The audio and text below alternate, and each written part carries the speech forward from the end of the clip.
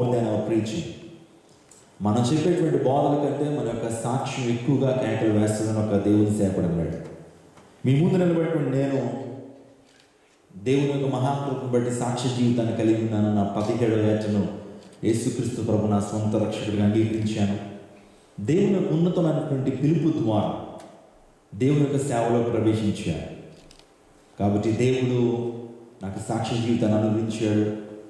దేవుని మహాకృపను బట్టి పరిశుద్ధ జీవితాన్ని జీవించడానికి దేవుడు నాకు కృప చూపిస్తున్నారు అనేక మందిని ప్రభావితం చేయడానికి దేవుని యొక్క కృప ద్వారా అనేక మంది యవనస్తులను ప్రత్యేకంగా దేవుని కొరకు పట్టుకోవడానికి దేవుడు నాకు కృప చూపిస్తున్నారు అందును బట్టి దేవుడు మన జీవితాల్లో కోరుతుంది పరిశుద్ధమైనటువంటి జీవితాన్ని దేవుడు కోరుతున్నాడు. ఈ ఉదయకాల సమయంలో మీరందరూ కూడా సన్ రైజ్ సర్వీస్కి మీరందరూ వచ్చిన్నారు యేసుక్రీస్తు ప్రభు యొక్క ఆ పునరుత్నాన్ని మనందరూ కూడా ధ్యానం చేయబోతున్నాం.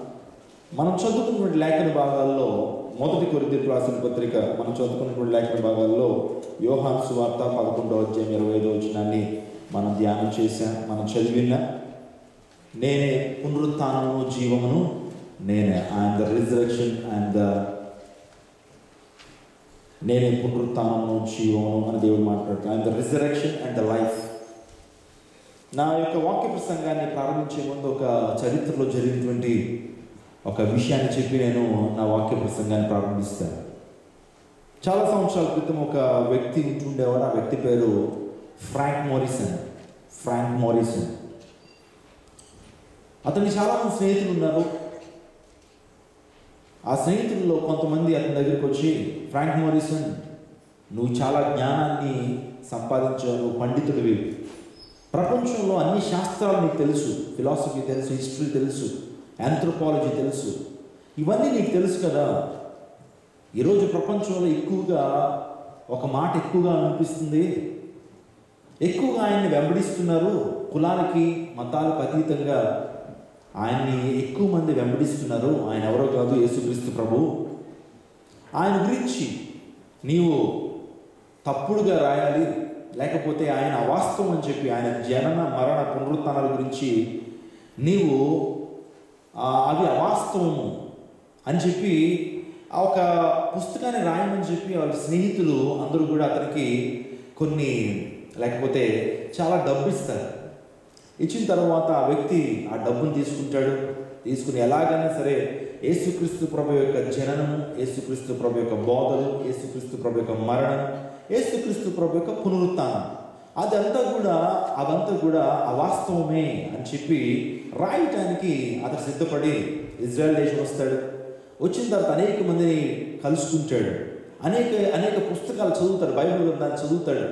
ఆ తర్వాత మొదటి శతాబ్దంలో అనేక మంది హిస్టారియన్స్ ఫ్లావియస్ జోసఫస్ టాసిటస్ ఇలాంటి వారు ఆ రాసినటువంటి ఆ యొక్క చరిత్ర పుస్తకాన్ని చదవటం ప్రారంభిస్తాడు ఎట్టకేలకు అంతా రీసెర్చ్ చేసిన తర్వాత ఎన్నో సంవత్సరాలు రీసెర్చ్ రీసెర్చ్ చేసిన తర్వాత అతడు ఒక పుస్తకాన్ని రాస్తాడు. ఆ పుస్తకం ఏంటంటే హూ మూడ్ ద స్టోన్ ఆ రాతిని ఎవరు దొరిలించారు అనేటువంటి పుస్తకాన్ని రాశాడు.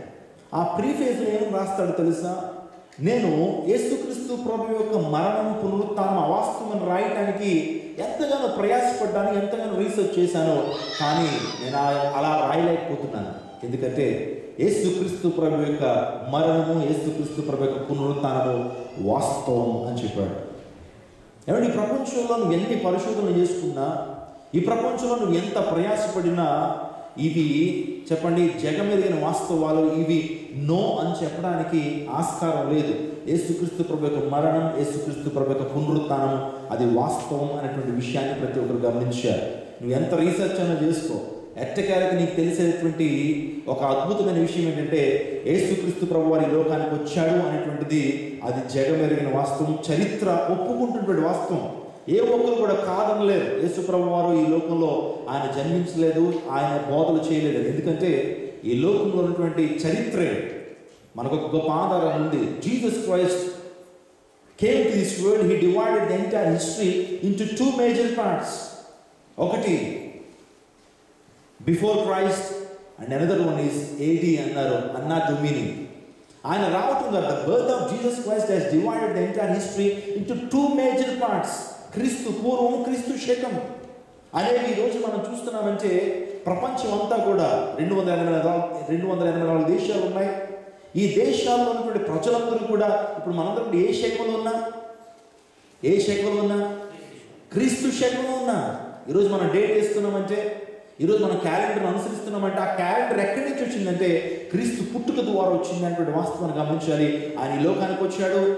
ఆ ప్రపంచ మానవులందరి కోసం కూడా ఆయన తన రక్తాన్ని కార్చాడు. మరలా మూడో రోజున తిరిగి లేచాడు. ఈరోజు మనం ఆరాధిస్తున్నటువంటి దేవుడు మరణాన్ని జయించినటువంటి ఆయన మృత్యుని చేయడం. మరణాన్ని జయించినటువంటి గొప్ప వీరుడు ఈ ప్రపంచంలో మరణం ప్రతి ఒక్కరిని కబలిస్తూ ఉంటుందండి man is a mortal being పుట్టుట గిట్టుట కొరకే అని చాలా చాలా సామెతలు మనం చూస్తుంటాం. ఎందుకంటే ప్రతి వ్యక్తి కూడా చనిపోవలసిందే. చెబుతున్న నేను ఒకనాటికి చచ్చిపోతాను వింటున్న నీవు ఒకనాటికి చచ్చిపోతావు. ఏ ఒక్కరు కూడా ఈ లోకంలో ఉండేటువంటి వారు ఎవరు కాదు. కానీ ప్రతి ఒక్కరిని మరణం బంధించి చేస్తుంది. మరణం యొక్క సంఖ్యలు ప్రతి ఒక్కరిని బంధించి చేస్తున్నాయి. ప్రతి ఒక్కరు దాని ముందు దాని ముందు తలగ్గాల్సిందే. ప్రతి ఒక్కరు దాని ముందు మోకాళ్ళు వేయాల్సిందే. కానీ అద్భుతమైన విషయం ఏంటో తెలుసా? మరణం ప్రతి ఒక్కరి దగ్గరికి వచ్చింది. ఏ దగ్గరకు కూడా వచ్చింది. కానీ ఆ మరణం ఏ ముందు సాగిలు పడింది నేనేమి చేయలేకపోతున్నాను నీ దగ్గర అని చెప్పి మరణమే ఆయన ముందు సాగిలు పడి ఒప్పుకుంది నేను చేయలేకపోతున్నాను అది యేసుక్రీస్తు ప్రభు యొక్క ఘనత. చాలా కాలం క్రితం కొంతమంది నాస్తికులు ఎథీస్టిక్ ఫిలాసఫర్స్ వారు ఒక చోట చేరేలాగా ఒక మీటింగ్ పెట్టుకున్నారట. ఏంటా మీటింగ్? అని అంటే ఏసుక్రీస్తు ప్రభు యొక్క ప్రపంచాన్ని ఎలాగన్నా అడ్డుకోవాలి. ఏసుక్రీస్తు ప్రభు యొక్క పేరు గ్రామాల్లోనూ పట్టణాల్లోనూ పల్లెల్లోనూ ఆ తర్వాత దేశాల్లో కూడా మారుమ్రోగిపోతుంది ఆయన పేరు. ఏంటి ఎందుకు ఆయన పేరు అంత మారుమ్రోగిపోవాలి? ఎలాగైనా సరే దీన్ని అరికట్టాలి మనం. ఎలాగైనా సరే క్రైస్తవ్యాన్ని అరికట్టాలి. ఏ విధంగా అరికట్టగలుగుతాను అని వారందరూ కూడా ఒక మీటింగ్ పెట్టుకున్నారు. ఆ మీటింగ్లో వారు చర్చ దేని మీద అంటే ఎలాగైనా సరే యేసుక్రీస్తు ప్రభు పేరు ప్రపంచంలో వినపడకూడదు. ఆయన ఆయన ఆరాధించేటువంటి వారు తగ్గిపోవాలనేటువంటి ఉద్దేశంతో వారు ఒక మీటింగ్ పెట్టుకుని వారు డిస్కస్ చేస్తున్నారు. ఆ డిస్కషన్ ఉన్నటువంటి పాయింట్స్ ఏ విధంగా ఉన్నాయి? ఎలా తగ్గించగలరు బైబిల్స్ అన్ని కూడా కాల్ చేస్తే ఇంకా ఆయన గురించి మాటలు ప్రపంచానికి అందవు కదా? బైబిల్స్ని అంతరించేద్దాం అని వారు ఒక తీర్మానం తీసుకున్నారు. అప్పుడు మిగతా వారు అన్నారు అది ఏమన్నా చిన్న విషయమా? క్రైస్తవులు వారు బైబిల్లోనే ఆ- యొక్క మాటలనే వారి హృదయాలలో కూడా ఉన్నాయి. చాలామంది ఇప్పటికే దాన్ని బైహాట్ చేసేసారు. చిన్నపిల్లలు సహితం అద్భుత రీతిగా వారు కంటత వాక్యాలు చెప్పగలుగుతారు. అద్భుత రీతిగా వారి యొక్క వాక్యాన్ని వారి యొక్క మైండ్లోనూ వాళ్ళు పెంచుకున్నారు క్రిస్టియన్స్ని బైబిల్ కాల్ చేసినంత మాత్రాన వారిలో ఉన్నటువంటి ఆ జీవం వారిలో ఉన్నటువంటి తపన ఆగిపోదు అని కొంతమంది చెప్పారు. అయితే ఏం చేద్దాం? యేసుక్రీస్తు ప్రభు యొక్క సువార్తను ప్రచురం చేస్తున్నటువంటి ఆ బోధకులను చంపేస్తే ఇవాంజలిస్ట్ని పాస్టర్ని బిషప్ని వీళ్ళని చంపేస్తే సువార్త ఆగిపోతుంది యేసుక్రీస్తు ప్రభు మాట వినపడదు అని అంటే వారిలో కొంతమంది ఉన్నారట అది కూడా సాధ్యపడేటువంటి విషయం కాదు. ఎందుకంటే కేవలం పాస్టర్లు మాత్రమే సువార్త చేయరు. క్రీస్తు తెలిసినటువంటి ప్రతి ఒక్కళ్ళు రక్షణ పొందిన ప్రతి ఒక్కరు కూడా క్రీస్తు గురించి మాట్లాడగలుగుతారు. ఆయన జనన మరణ పునరుత్నాల గురించి ప్రతి విశ్వాసి కూడా మాట్లాడగలుగుతారు. యేసు ప్రభు వారి యొక్క అద్భుతాన్ని పొందుకున్నటువంటి వారు ఆయన రక్షణ పొందుకున్నటువంటి వారు సాక్ష్యాలు చెప్తే చాలు. ప్రపంచం మార్చబడుతుంది ప్రపంచంలో గొప్ప ప్రపంచం గొప్ప విప్లవం చెలరేగుతుంది. అది కూడా సాధ్యపడేది కాదు అని చెప్పి వాళ్ళలో వారు తర్జన భర్జన పడుతున్నారట. ఎలాగైనా సరే క్రిస్టియానిటీని ఎలాగైనా సరే దాన్ని అంతం చేయాలి. ఎక్కువ యేసుక్రీస్తు ప్రభు పేరు వినపడకూడదని ప్రయాసపడుతుంటే చివరి నుంచి ఒక వ్యక్తి లేచి అన్నాడట. ఏమనంటే ఈరోజు యేసుక్రీస్తు ప్రభు పేరు ఈ ప్రపంచంలో వినపడకూడదంటే ఒక పని చేస్తే అస్సలు యేసుక్రీస్తు ప్రభు పేరు ఈ ప్రపంచంలో వినపడుతూ ఉన్నాడట ఏంటని అందరి అటెన్షన్ అతని దగ్గరికి వెళ్ళింది.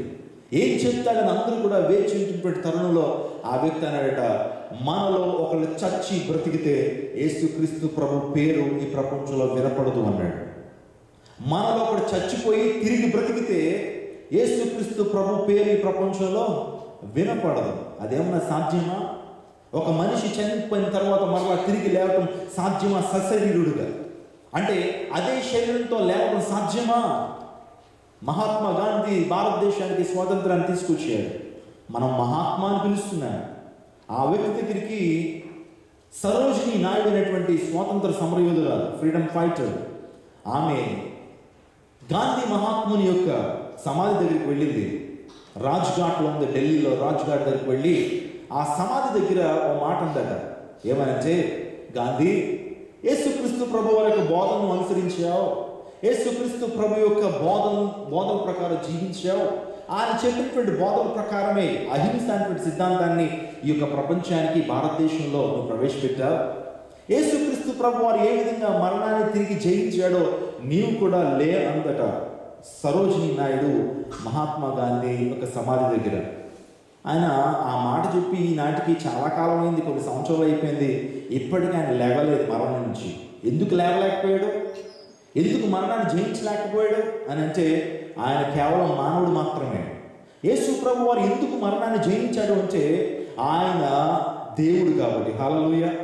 ఆయనలో దైవ లక్షణాలు ఉన్నాయి. ఆయన సకల చలాచల సృష్టిని తన నోటి మాట ద్వారా కలుగు చేసినటువంటి సర్వ సృష్టికర్త. He has an authority on everything ఆయనకి సర్వం మీద కూడా ఆయనకు అధికారం ఉంది. పాపాలు పాపాలు క్షమించడానికి అధికారం ఉంది ఆయనకి. అదేవిధంగా ఆయన్ని మరణించడానికి తిరిగి ఆయన ప్రాణం పెట్టడానికి తిరిగి ఆ ప్రాణం తీసుకోవడానికి కూడా ఆయనకు అధికారం ఉంది. అందును బట్టి ఆయన మరణాన్ని తిరిగి చేయించాడు ఆలోచన చేద్దాం ఆలోచన చేద్దాం. ఈరోజు కొన్ని ప్రాముఖ్యమైన విషయాలు మనము మనం తెలుసుకుందాం. ఈరోజు మీ యొక్క విశ్వాసాన్ని బలపరచడానికి దేవుడు ఇష్టపడుతున్నాడు. కాబట్టి యేసుక్రీస్తు ప్రభు వారి సృష్టికర్త సర్వాధికారులు మృత్యుంజయుడు అని అన్నాడు. యోహాను సువార్త పదవ అధ్యాయం పద్దెనిమిది వచ్చినలో నాకు ప్రాణం పెట్టడానికి నాకు అధికారం ఉంది దాన్ని తిరిగి తీసుకోవడానికి నాకు అధికారం ఉంది. ఆయనకి సర్వాధికారము ఇవ్వబడింది. రోమా పత్రికలో మనం చూస్తున్నాం ఆయనకి సర్వాధికారం కలిగినటువంటి దేవుడైంది నిరంతరం స్తోత్రార్హుడై ఉన్నాడు ఆయన. ఆయనకు అధికారం ఇవ్వబడింది. ఆలోచన చేద్దాం యేసుక్రీస్తు ప్రభు యొక్క పునరుత్నం గురించి ఆది కాండంలోనే ఒక ప్రవచనం రాయబడి ఉంది. యేసుక్రీస్తు ప్రభు వారు మరణాన్ని తిరిగి జయిస్తాడని ఆది కాండంలోనే కొన్ని ప్రవచనాలు ఉన్నాయి. ఆలోచన చేయండి. ఆది నుంచి మలాకి గ్రంథం వరకు ఉన్నటువంటి ఆ యొక్క భాగాన్ని ఏమంటామంటే మనము పాత నిబంధన అంటారు. బైబిల్ గ్రంథంలో ప్రధానంగా మనం చూస్తే పాత నిబంధన క్రొత్త నిబంధన అటువంటి రెండు టెస్ట్మెంట్స్ ఉన్నాయి. పాత నిబంధన ఆది నుంచి మలాకి గ్రంథం వరకు ఉన్నటువంటి దాన్ని ఏమన్నారంటే పాత నిబంధన. ఎన్ని పుస్తకాలు అవి? ఎన్ని పుస్తకాలు అవి? పాత నిబంధనలు ఎన్ని పుస్తకాలు? How many books are there in the old testament thirty nine books new టెస్ట్మెంట్లు ఎన్ని ఉన్నాయి? ట్వంటీ సెవెన్ ఓకే ఇవి మినిమమ్ నాలెడ్జ్ మినిమమ్ థింగ్స్ ఇవి మనం నేర్చుకోవాలి. ఈ యొక్క పాత నిబంధన ఏమంటారంటే పాత నిబంధన మనం ఏమనొచ్చు అంటే ప్రవచన గ్రంథము ప్రవచనం అనొచ్చు. We can call old testament as a prophecy ఎవరి గురించి చెప్పండి చెప్పండి అని ఆలోచన చేస్తే యేసుక్రీస్తు ప్రభు గురించినటువంటి ప్రవచనాలని కూడా పాత నిబంధనలో రాయబడ్డాయి. ఆ తర్వాత మనం కొత్త నిబంధనలోకి వచ్చిన తర్వాత సువార్తలు ఉన్నాయి. మత్తయి మార్కు లూకా యోహాన్.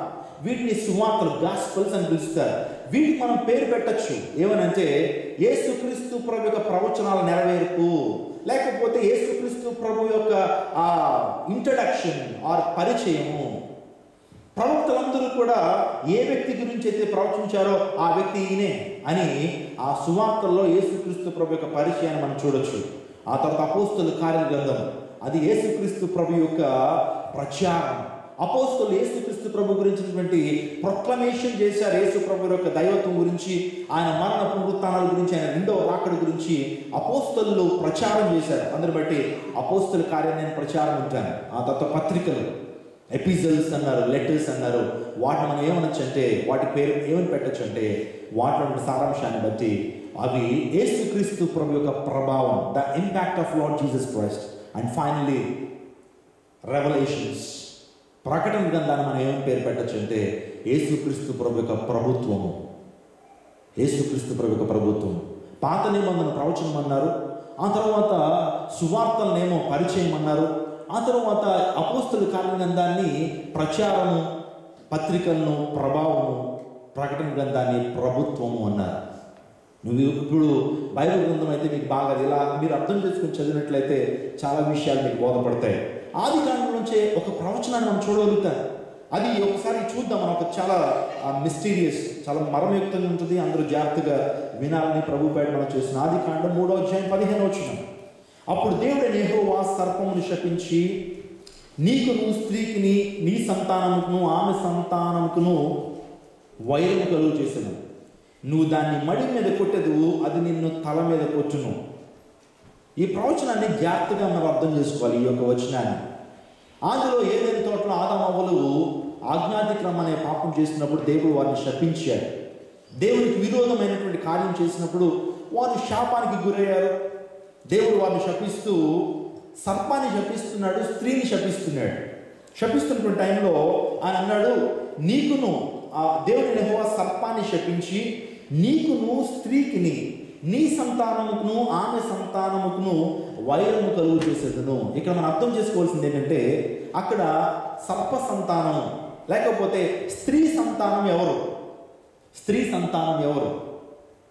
ఆలోచన చేస్తే అదేంటంటే అలా అడుగుతారు? మనందరం కూడా స్త్రీకి పుట్టినటువంటి వారమే కదా. అందరం కూడా చెప్పండి స్త్రీకి పుట్టినటువంటి వారు మనందరం స్త్రీ సంతానం అనుకుంటే బైబిల్ పరిభాషలో మనందరం కూడా పురుష సంతానము. మనందరం కూడా ఎవరు? పురుష సంతానం పురుష ప్రమేయంతో పుట్టినటువంటి వారం. ఈ ప్రపంచంలో ఒక్కళ్ళే ఒక్కరు. ఒక్కళ్ళే స్త్రీకి పుట్టినటువంటి వారు అంటే పురుష ప్రమేయం లేకుండా పుట్టినటువంటి వారు కేవలం ఏసుక్రీస్తు ప్రభు వారు ఒక్కడే. అందరు వచ్చి ఏసుక్రీస్తు ప్రభు వారు స్త్రీ సంతానము మనందరూ కూడా పురుష సంతానం. మత్తేసు మాత్రం మీరు చదివినట్లయితే ఆ యొక్క వంశావళి చదువుతున్నప్పుడు అబ్రహాం ఇస్సాకును కన్ను ఇస్సాక్ యాకోబును కన్ను అని ప్రారంభించబడి యేసు ప్రభు దగ్గరికి వచ్చేటప్పటికి యేసు ప్రభుని ఏమని పిలిచారు? మరియ కుమారుడు అని పిలిచారు. అంటే స్త్రీకి పుట్టినటువంటి వాడు యేసు ప్రభు వారు స్త్రీ సంతానము మనందరం కూడా పురుష సంతానం. ఈవెన్ ఇస్లాం ఖురాన్ కూడా ఒప్పుకుంటుంది ఏంటో తెలుసా? ఈసా బిన్ మరియం అంటారు. ఎక్కడైనా సరే ఏసుక్రీస్తు ప్రభుని గురించి పలికి సందర్భం వచ్చినప్పుడు ఇరవై ఐదు సందర్భాల్లో ఏసుక్రీస్తు ప్రభు వారి గురించినటువంటి ప్రస్తావన ఖురాన్లో మనం చూస్తాం. ఎక్కడ ఎక్కడ యేసు ప్రభు వారి గురించి ప్రస్తావించిన ఈసాబిన్ మరియం అంటారు. అంటే మరియ కుమారుడైనటువంటి యేసు ప్రభు అని అంటారు తప్పించి యోసేపు కుమారుడైనటువంటి యేసు ప్రభు వారు అనరు అంటే ఖురాన్ కూడా ఒప్పుకుంటుంది యేసు ప్రభు వారు స్త్రీ సంతానం అని. ఇప్పుడు మనం చదువుకున్నటువంటి లేఖన భాగాల్లో ఆ దేవుడి నేహోవా సర్పమును శపించి నీకును స్త్రీకిని ఆమె సంతానంకు నీ సంతానంకు వైరము కలుగు చేసేదను. అది నిన్ను మడి మీద కొ నీవు దాన్ని మడి మీద కొట్టదు అది నిన్ను తల మీద కొడుతుంది. అంటే స్త్రీ సంతానం అంటే యేసుప్రభు వారు సర్పం సర్ప సంతానం అంటే సాతానుడు. ఇప్పుడు సాతానుడు అంటే యేసుక్రీస్తు ప్రభుని ఎక్కడ కొడతాడట? స్త్రీ సంతానమైనటువంటి యేసు ప్రభు వారిని ఎక్కడ కొడతాడు? మడిమ మీద కొడతాడు. స్త్రీ సంతానమైనటువంటి యేసుక్రీస్తు ప్రభు వారు స్త్రీ సంతానమైన స్త్రీ సంతానము సాతాన్ని ఎక్కడ కొడుతుంది? తల మీద కొడుతుంది. ఆలోచన చేయండి ఒక యొక్క ప్రవచనాన్ని. ఆలోచన చేయండి శ్రద్ధగా ఆలోచన చేయండి. యేసుక్రీస్తు ప్రభు వారు సిలువలో మరణించాడు. సాతానుడు అనుకున్నాడు నేను అతన్ని గాయపరిచాను. లేకపోతే ఆ సాతానుడు సాతానుడు క్రీస్తు ప్రభు వారిని అంటే స్త్రీ సంతానం యేసు క్రీస్తు ప్రభు వారిని మడి మీద కొట్టాడు సిలువలో. కానీ ఆయన మూడో రోజు పునరుత్డై లేవడం ద్వారా సాతాను యొక్క తల చితక త్రొక్కబడింది. హాలలోయ హాలలోయ ఈ ప్రవచనం యొక్క నెరవేర్పు మీరందరూ కూడా జాగ్రత్తగా అర్థం చేసుకోవాలి. సాతానుడు తల యేసుక్రీస్తు ప్రభు వారు మరణ మరణించి ఆయన పునరుత్నం రావటం ద్వారా ఆ వాడి యొక్క తల చితక త్రొక్కబడింది. అది నిన్ను తల మీద కూర్చును మరణాన్ని ఎప్పుడైతే జయించగానే ఆ పునరుత్నమే తల మీద కొట్టడం అనేటువంటి వాస్తవాన్ని మీరు గమనించాలి. ఈ ప్రపంచంలో చాలామంది గొప్ప గొప్పవారు పుట్టారండి. వాడిని ది గ్రేట్ అని పిలిచారు. ఎందుకంటే వారికి ఉన్నటువంటి ఆ పొటెన్షియల్ అలాంటిది వారికి ఉన్నటువంటి టాలెంట్స్ అలాంటివి. అలెగ్జాండర్ అని మనం పిలుస్తున్నామంటే ఆ వ్యక్తి మ్యాసిడోనియా గ్రీక్ ఆ గ్రీక్ యొక్క రాజ్యంలో ఒక ప్రముఖమైనటువంటి రాజుగా మనకు కనబడుతున్నాడు మూడు వందల యాభై. అతను పుట్టాడు. ఆ మూడు వందల ఇరవై మూడు ఆ టైంలో అతను బ్యాబిలోనియన్లో చనిపోయినట్లుగా మన చరిత్రలో ఆధారాలు చూస్తున్నాను ఒకసారి అలెగ్జాండర్ సముద్రం దగ్గరికి వెళ్ళ- వెళ్ళ- వెళ్ళన్నాడట ఏమనంటే సముద్రమా? నీవు కూడా ఒక భూభాగం అయితే నిన్ను కూడా జయించి ఉండేవాడిని అన్నాడు. అంటే అతను జయించాల్సినటువంటి భూభాగం లేదు. అతను జయించాల్సినటువంటి రాజులు లేరు. అంతా జయించాడు. జగజ్జేతుగా పేరు తెచ్చుకున్నాడు. కానీ తన యొక్క యవ్వన కాలంలో నేను అనుకున్నాను ముప్పై మూడవ ఏట ఒక చిన్న దోమ పాట చిన్న దోమ కుట్టి మరణ పడక మీద వెళ్ళిపోయాడు వెళ్ళిపోయి మరణంతో పోరాడాడు. పోరాడాడు కొద్ది సమయం కొన్ని రోజులు పోరాడిన తర్వాత ఆ వ్యక్తి చనిపోయాడు. మరణము ఆ వ్యక్తిని బంధించేసింది. జగజ్జీవితే అందరినీ జయించాడు కానీ మరణాన్ని జయించలేకపోయాడు. మరణం ముందు సాష్టాంగపడ్డాడు అతని యొక్క సమాధిని మనము చూడొచ్చు. ప్రపంచంలో చాలా మంది దాన్ని దర్శిస్తూ ఉంటారు. ఇంకా మనం ఆలోచన చేస్తే ఈ ప్రపంచంలో చాలా గౌతమ బుద్ధుడు బుద్ధిజాన్ని స్థాపించినటువంటి ఆ వ్యక్తి బీసీ ఐదు వందల అరవై మూడులో జన్మించాడు. నాలుగు వందల ఎనభై మూడో సంవత్సరంలో బీసీ చనిపోయాడు. అంటే ఎనభై సంవత్సరాలు బ్రతికాడు ఆ వ్యక్తి.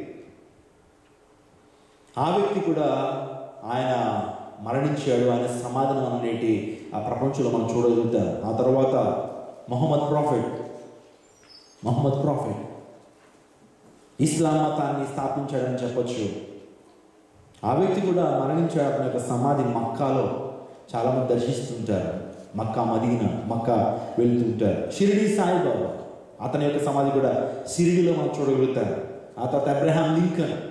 I think is the fourteenth president of America ప్రజాస్వామ్యానికి గొప్ప నిర్వచనాన్ని ఇచ్చినటువంటి వాడు. అమెరికా దేశంలో చాలా గొప్ప వ్యక్తిగా మనము అభివర్ణించు అభివర్ణించుకోవచ్చు. మొన్న నేను వాషింగ్టన్ డీసీ వెళ్ళినప్పుడు ఆయన యొక్క మెమోరియల్ ఆ స్టాచ్యూ చూడటం జరిగింది. కొన్ని విషయాలు తెలుసుకోగలిగాను. అతని యొక్క సమాజం కూడా స్ప్రింగ్స్ ఫీల్డ్లో ఉన్నట్లుగా నేను గమనించాను. గొప్పవాడే.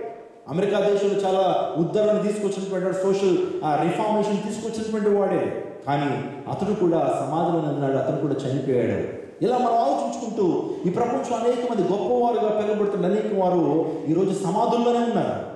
వారి సమాధుల్ని మనం దర్శిస్తుంటాం కానీ యేసుక్రీస్తు ప్రభు వారు ఆయన సమాధిలో లేడు. హల్లెలూయా. ఆయన సమాధి ఖాళీ సమాధి. ఇప్పుడు మనం ఇజ్రాయెల్ దేశానికి వెళ్తే కనుక యేసుక్రీస్తు ప్రభు సమాధి దగ్గర ఒక పాస్టర్ గారు ఉంటారు. ఎప్పుడు కూడా ఆయన అంటాడు ఏమంటే తెలుసా? మీరు లోపలికి వెళ్ళి చూడొచ్చు అంటాడు. You have an access to go in to the tomb and you can see యేసుక్రీస్తు ప్రభు వారు సమాధిలో లేడు. ఆయన సమాధిని గెలిచాడు. ఆయన సశరీరుడుగానే సమాధిని గెలిచాడని పునరుత్డై లేచాడు అనేటువంటి వాస్తవాన్ని మనం చూడగలుగుతాం. ఆయనను మరణం బంధించుంచలేకపోయింది. మరణం ఆయన ముందు. ఏమండి? అందును బట్టి కొరింత రాసిన పత్రికలో మనం చూస్తే పదిహేనవ అధ్యాయం. మనం చూస్తే కనుక అంటాడు O death where is your victory O death where is your sting O మరణమా నీ ముళ్ళు ఎక్కడ? ఓ మరణమా నీ విజయము ఎక్కడ? ఈ డైలాగ్ ఈ యొక్క కొటేషన్ ఒకే ఒక్కరి జీవితంలో నెరవేర్చబడిందండి. ఓ మరణమా నీ ముళ్ళు ఎక్కడ? ఓ మరణమా నీ విజయం ఎక్కడ? మరణం యొక్క మూలను విరిచినటువంటి వాడు యేసుక్రీస్తు ప్రభుల వారు ఆలోచన చేయండి మనకందరికీ స్కార్పియన్ తెలుసు తేలు.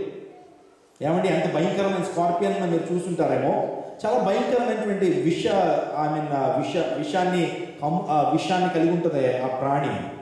ఎప్పుడైతే ఒక వ్యక్తిని కరిచగా కరవగానే ఆ యొక్క నిజంగా చాలామంది చనిపోయినటువంటి వారు ఉన్నారు కూడా. తేలుకి తేలు కుట్టినప్పుడు చనిపోయినటువంటి వారు చాలా మంది ఉన్నారు. ఒకవేళ కనుక ఆ తేలుని ఆ కొండి విరిచేసామనుకోండి వెనకాల ఉంటుంది ఒక కొండి దాన్ని విరిచేస్తే చిన్నపిల్లలు కూడా తాడు కట్టుకుని తాడు కట్టి దాన్ని ఆడించవచ్చు ఎందుకో తెలుసా? దాని యొక్క ఏమైపోయింది? దాని పవర్ అంతా కూడా దాని ఎక్కడ ఉంటుంది? దాని విషయం అంతా ఎక్కడ ఉంటుందండి? పాముకి ఏమో ఎక్కడ ఉంటుంది? కోరల్లో ఉంటుంది తేలిక ఎక్కడ ఉంటుంది? చెప్పండి. వెనకాల ఒక కొండి లాంటిది ఉంటుంది దాంట్లో ఉంటుంది. దాన్ని విరిచేసాం అనుకోండి మనం కూడా ఏం చేయొచ్చు? స్కార్పియన్ మన చేతుల్లో ఆడించుకోవచ్చు. లేకపోతే పాము కొన్నటువంటి కూరలు గీకేసాం అనుకోండి మనం కూడా మెడలో వేసుకుని తిరగచ్చు. ఎందుకంటే దానికి ఉన్నటువంటి శక్తి ఏమైపోయింది? నిర్వీర్యం అయిపోయింది. దానికి ఉన్న శక్తి నిర్వీర్యం అది. ఇంకేం చేయలేదు. ఈ రోజున దేశక్రీస్తు ప్రభు వారు కూడా మరణానికి ఉన్నటువంటి పావర్ని మరణానికి ఉన్నటువంటి శక్తిని ఆయన ఏం చేశాడు? నిర్వీర్యం చేసేసాడు. ఇంకా అవి పనిచేయవు. కొన్ని కొన్నిసార్లు కొన్ని బాంబ్స్ని నిర్వీర్యం చేస్తుంటారు. అంటే దాని ఎక్స్పైరీ డేట్ అయిపోగానే తీసుకువెళ్ళి దాన్ని నిర్వీర్యం చేస్తుంటారు. అదేవిధంగా ఇంకా ఆ బాంబులైన పవర్ ఉండదు. ఏసుక్రీస్తు ప్రభు వారు కూడా మరణానికి ఉన్నటువంటి శక్తిని ఆయన నిర్వీర్యం చేశాడు. ఆయన O death where is your sting O death where is your victory O మరణమా? నీ విజయం ఎక్కడ? ఓ మరణమా? నీ యొక్క ముళ్ళు ఎక్కడ మన వేదాలు కూడా చెప్తున్నాయి. ప్రజాపతి అయినటువంటి వాడు ఈ లోకానికి వస్తే ఆయన ఈ విధంగా ఆరాధించబడాలి అనే ఆలోచన చేస్తూ ఓం శ్రీ మృత్యుంజయ నమః అన్నారు. మరణాన్ని జయించినటువంటి వా మరణాన్ని జయించినటువంటి మృత్యుంజయుడ నీకు ఆరాధన అని మన పూర్వీకులు కూడా పాడారు మన పూర్వీకులు కూడా ఆరాధించారు. ఆలోచన చేయండి యేసుక్రీస్తు ప్రభు వారిలో దైవత్వం యొక్క సర్వ పరిపూర్ణత యేసుక్రీస్తు ప్రభు వారిలో నెరవేర్చబడింది. అపోస్తున్న పౌలు అంటాడు ఒకవేళ కనుక యేసుక్రీస్తు ప్రభు గనుక మరణాన్ని తిరిగి జయించకపోతే మేము చేస్తున్నటువంటి ప్రకటన వ్యర్థం. మేము చేస్తున్నటువంటి సువార్త ప్రకటన వ్యర్థం. మా విశ్వాసం వ్యర్థం. ప్రతి క్రైస్తవుని యొక్క విశ్వాసానికి ఆలంబన యేసుక్రీస్తు ప్రభు యొక్క పునరుత్నం యేసు ప్రభు వారి కనుక యేసు ప్రభు వారి కనుక మరణాన్ని జయించి ఉండకపోతే ఈరోజు మనం ఇలా కూర్చోవటం వ్యర్థం దేవుని ఆరాధించడం వ్యర్థం మన విశ్వాసమే వ్యర్థం అంటాడు ఆలోచన చేయండి. క్రైస్తవ విశ్వాసానికి ఆలంబన ఏంటంటే యేసుక్రీస్తు ప్రభు యొక్క పునరుత్నము ఆయన యొక్క ఖాళీ సమాధి. మనకు గొప్ప నిరీక్షణ ఇచ్చింది మనకు గొప్ప ఆశను రేకెత్తించింది. మన హృదయాల్లో గొప్ప సంతోషం. ఒకనాడు మనం కూడా ఈ లోకాన్ని విడిచిపెట్టబోతున్నాం. ఒకప్పుడు మనం ఒకనాడు మనం కూడా మనం కూడా చనిపోబోతున్నాం. మనం కూడా మరణించబోతున్నాం. కానీ దేవుడు మనకి ఇచ్చిన గొప్ప నిరీక్షణ ఏంటో తెలుసా? మీరు కూడా పునరుత్నాలు అవుతారు. నేను ఏ విధంగా సజీవున్నాయి లోకరాజ్యానికి రాజ్యానికి ఏ విధంగా లేచానో మీరు కూడా మృతుల పునరుత్నం జీవ పునరుత్నం గురించి దేవుడు మాట్లాడాడు. మనం ఇంకా మరణానికి భయపడాల్సిన అవసరం లేదు. అందులో బట్టి అపోసం పౌలు అంటాడు ఫర్ మీ నా మట్టుకైతే బ్రతుకుట క్రీస్తే చావైతే లాభం. ఎందుకు ఎందుకు అంత ధైర్యంగా చెప్పగలుగుతున్నాడు? ఈ ప్రపంచంలో మరణం అంటే అందరికీ భయమే. మరణం దగ్గరికి వస్తుందంటే భయపడతాడు మానవుడు. కానీ ఎవరైతే క్రీస్తులో ఉంటే మరణానికి భయపడాల్సిన అవసరం లేదు. ఎందుకో తెలుసా? దేవుడు ఆ మరణానికి ఉన్నటువంటి పవర్ని ఏం చేశాడు ఆయన? నిర్వీర్యం చేశాడు. నిర్వీర్యం చేశాడు. ఆలోచించాడు ఈరోజు పునరుత్న సందేశం. యేసుక్రీస్తు ప్రభు వారు లేచాడు అనడానికి రుజువులు ఏంటండి? యేసు ప్రభు వారు ఆయన ఈ అనడానికి రుజువు ఏంటంటే ఈ రోజున ప్రపంచంలో మనం చూడగలుగుతున్నాం ఆయన యొక్క ఖాళీ సమాధి ఎంటీ టోమ్ ఆయన యొక్క ఖాళీ సమాధి లూకాసు వార్త ఇరవై నాలుగు వచ్చిన రెండవ వచ్చిన the witness of the empty tomb ఈరోజు ఖాళీ సమాధి మనకి ఒక మంచి ఏం చూపిస్తుందంటే సాక్ష్యాన్ని చెప్తుంది. మీరు అదేవిధంగా యోహాను సువార్త ఇరవై అధ్యాయం ఆరో వచ్చిన చదివితే కనుక అంతటి సీమోను పేతురు అతని వెంబడి వచ్చి సమాధిలో ప్రవేశించి నార బట్టల యొద్ద ఉండక వేరు ఒక చోట చుట్టబడి ఉన్నటువంటి దాన్ని చూచాడు. అంటే సీమోన్ పేతురు ఉన్నాడు అతడు యేసు ప్రభు వారు సమాధి దగ్గరికి వచ్చినప్పుడు యేసు ప్రభు వారు నారబట్ట చేత చుట్టబడ్డాడు. ఆ చుట్టబడినటువంటి ఆ వస్త్రాలన్నీ కూడా అక్కడ ఉన్నాయి కానీ ఆ మనిషి లేడు. ఆ డెడ్ బాడీ లేదు.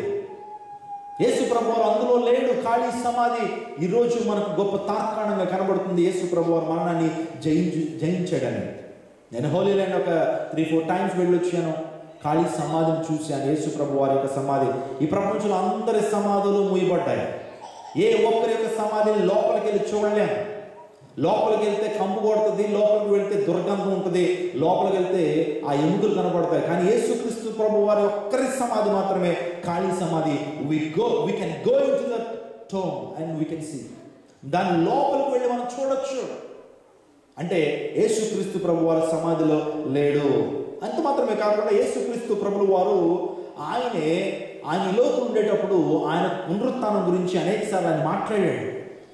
ఈ దేవాలయాన్ని destroy this temple I will I will raise it again in three days ఈ దేవాలయాన్ని పడగొట్టండి. నేను మూడో రోజున తిరిగి లేపుతానన్నాడు. ఆ శాస్త్రులు పరిచయలు సద్దుకాయలు వారికి అర్థం కాలేదు. ఏంటి దేవాలయము? సొలోమన్ మహారాజు కొన్ని సంవత్సరాలు కట్టాడు ఇది. ఈయన దీన్ని పడగొట్టండి మూడు రోజుల్లో కడతానంటాడు ఏంటి? పిచ్చోడు అనుకున్నారు. అందులో ఉన్నటువంటి మర్మయుక్తమైనటువంటి మాటలు వారికి అర్థం కాలేదు. ఈ దేవాలయం అంటే నా యొక్క నా యొక్క జీవితం లేకపోతే నా శరీరాన్ని. మీరు పడగొచ్చండి నేను మూడు రోజులు తిరిగి లేదు కానీ ఏమైనా ఏమైనా కన్స్ట్రక్షన్ మూడు రోజులు అయిపోతారు? అంటే యేసుక్రీస్తు ప్రభు వారు ఎవరు? దేని గురించి మాట్లాడాడంటే ఆయన జీవితం గురించి మాట్లాడాడు. ఈ దేవాలయం పడగొట్టండి. మూడు రోజులు తిరిగి లేపుతానని దేవుడు చెప్పాడు. ఆయన పునరుత్థానం గురించి సుమారుగా మనం ఆలోచన చేస్తే బైబిల్ గ్రంథంలో ఆ, పునరుత్థానం గురించి నూట నాలుగు సార్లు రాయబడి ఉందండి యేసుక్రీస్తు ప్రభు యొక్క పునరుత్థానం రిజరక్షన్ గురించి నూట నాలుగు సార్లు మనం చూడగలుగుతాం. అంత మాత్రమే కాకుండా ఆయన ఈ ఈ యొక్క ఈ యొక్క ఆయన సువార్త పరిచయలో చాలా సార్లు ఆయన చెప్పాడు. ఆయన మరణం గురించి ఆయన మాట్లాడాడు. ఆయన పునరుత్నం గురించి కూడా ఆయన మాట్లాడాడు. అంత మాత్రమే కాకుండా ఆయన నలభై దినాలండి సశరీరుడుగా అనేక మంది కనిపించాడు ఆయన. నలభై దినాలు ఐదు వందల మందికి ఆయన కనిపించాడు. చాలామంది అంటారు ఈ క్రైస్తవ సహోదరులు ఆ టైంలో ఎలిజినేషన్ పొందారు. లేకపోతే అప్పటి వరకు యేసుక్రీస్తు ప్రభుని బాగా చూశారేమో బాగా ఆలోచన చేశారేమో. ఎక్కడ చూసినా యేసు ప్రభు కనపడుతున్నట్లుగా వారు భ్రమ పొందారని చెప్పి ప్రపంచంలో ఒక కాన్సెప్ట్ని తీసుకొచ్చారు దాన్ని హెలిజినేషన్ అన్నారు. అంటే భ్రాంతిలో భ్రమలో యేసు ప్రభు వారు అప్పుడు వరకు మూడున్నర సంవత్సరాలు ఆ వారితో ఉన్నారేమో కనిపించడం అనుకున్నారు. కానీ యేసు ప్రభు వారు మరణాన్ని తిరిగి జయించలేదు అని చాలామంది ఈ సిద్ధాంతాన్ని కూడా వెలుగులోకి తీసుకొచ్చారు. వాస్తవానికి హెలిజినేషన్ ఎంతమందికి ఉంటుందండి? ఒకరిద్దరికి ఉంటుందేమో. కానీ యేసుక్రీస్తు ప్రభు వారు ఐదు వందల మంది కనిపించారు.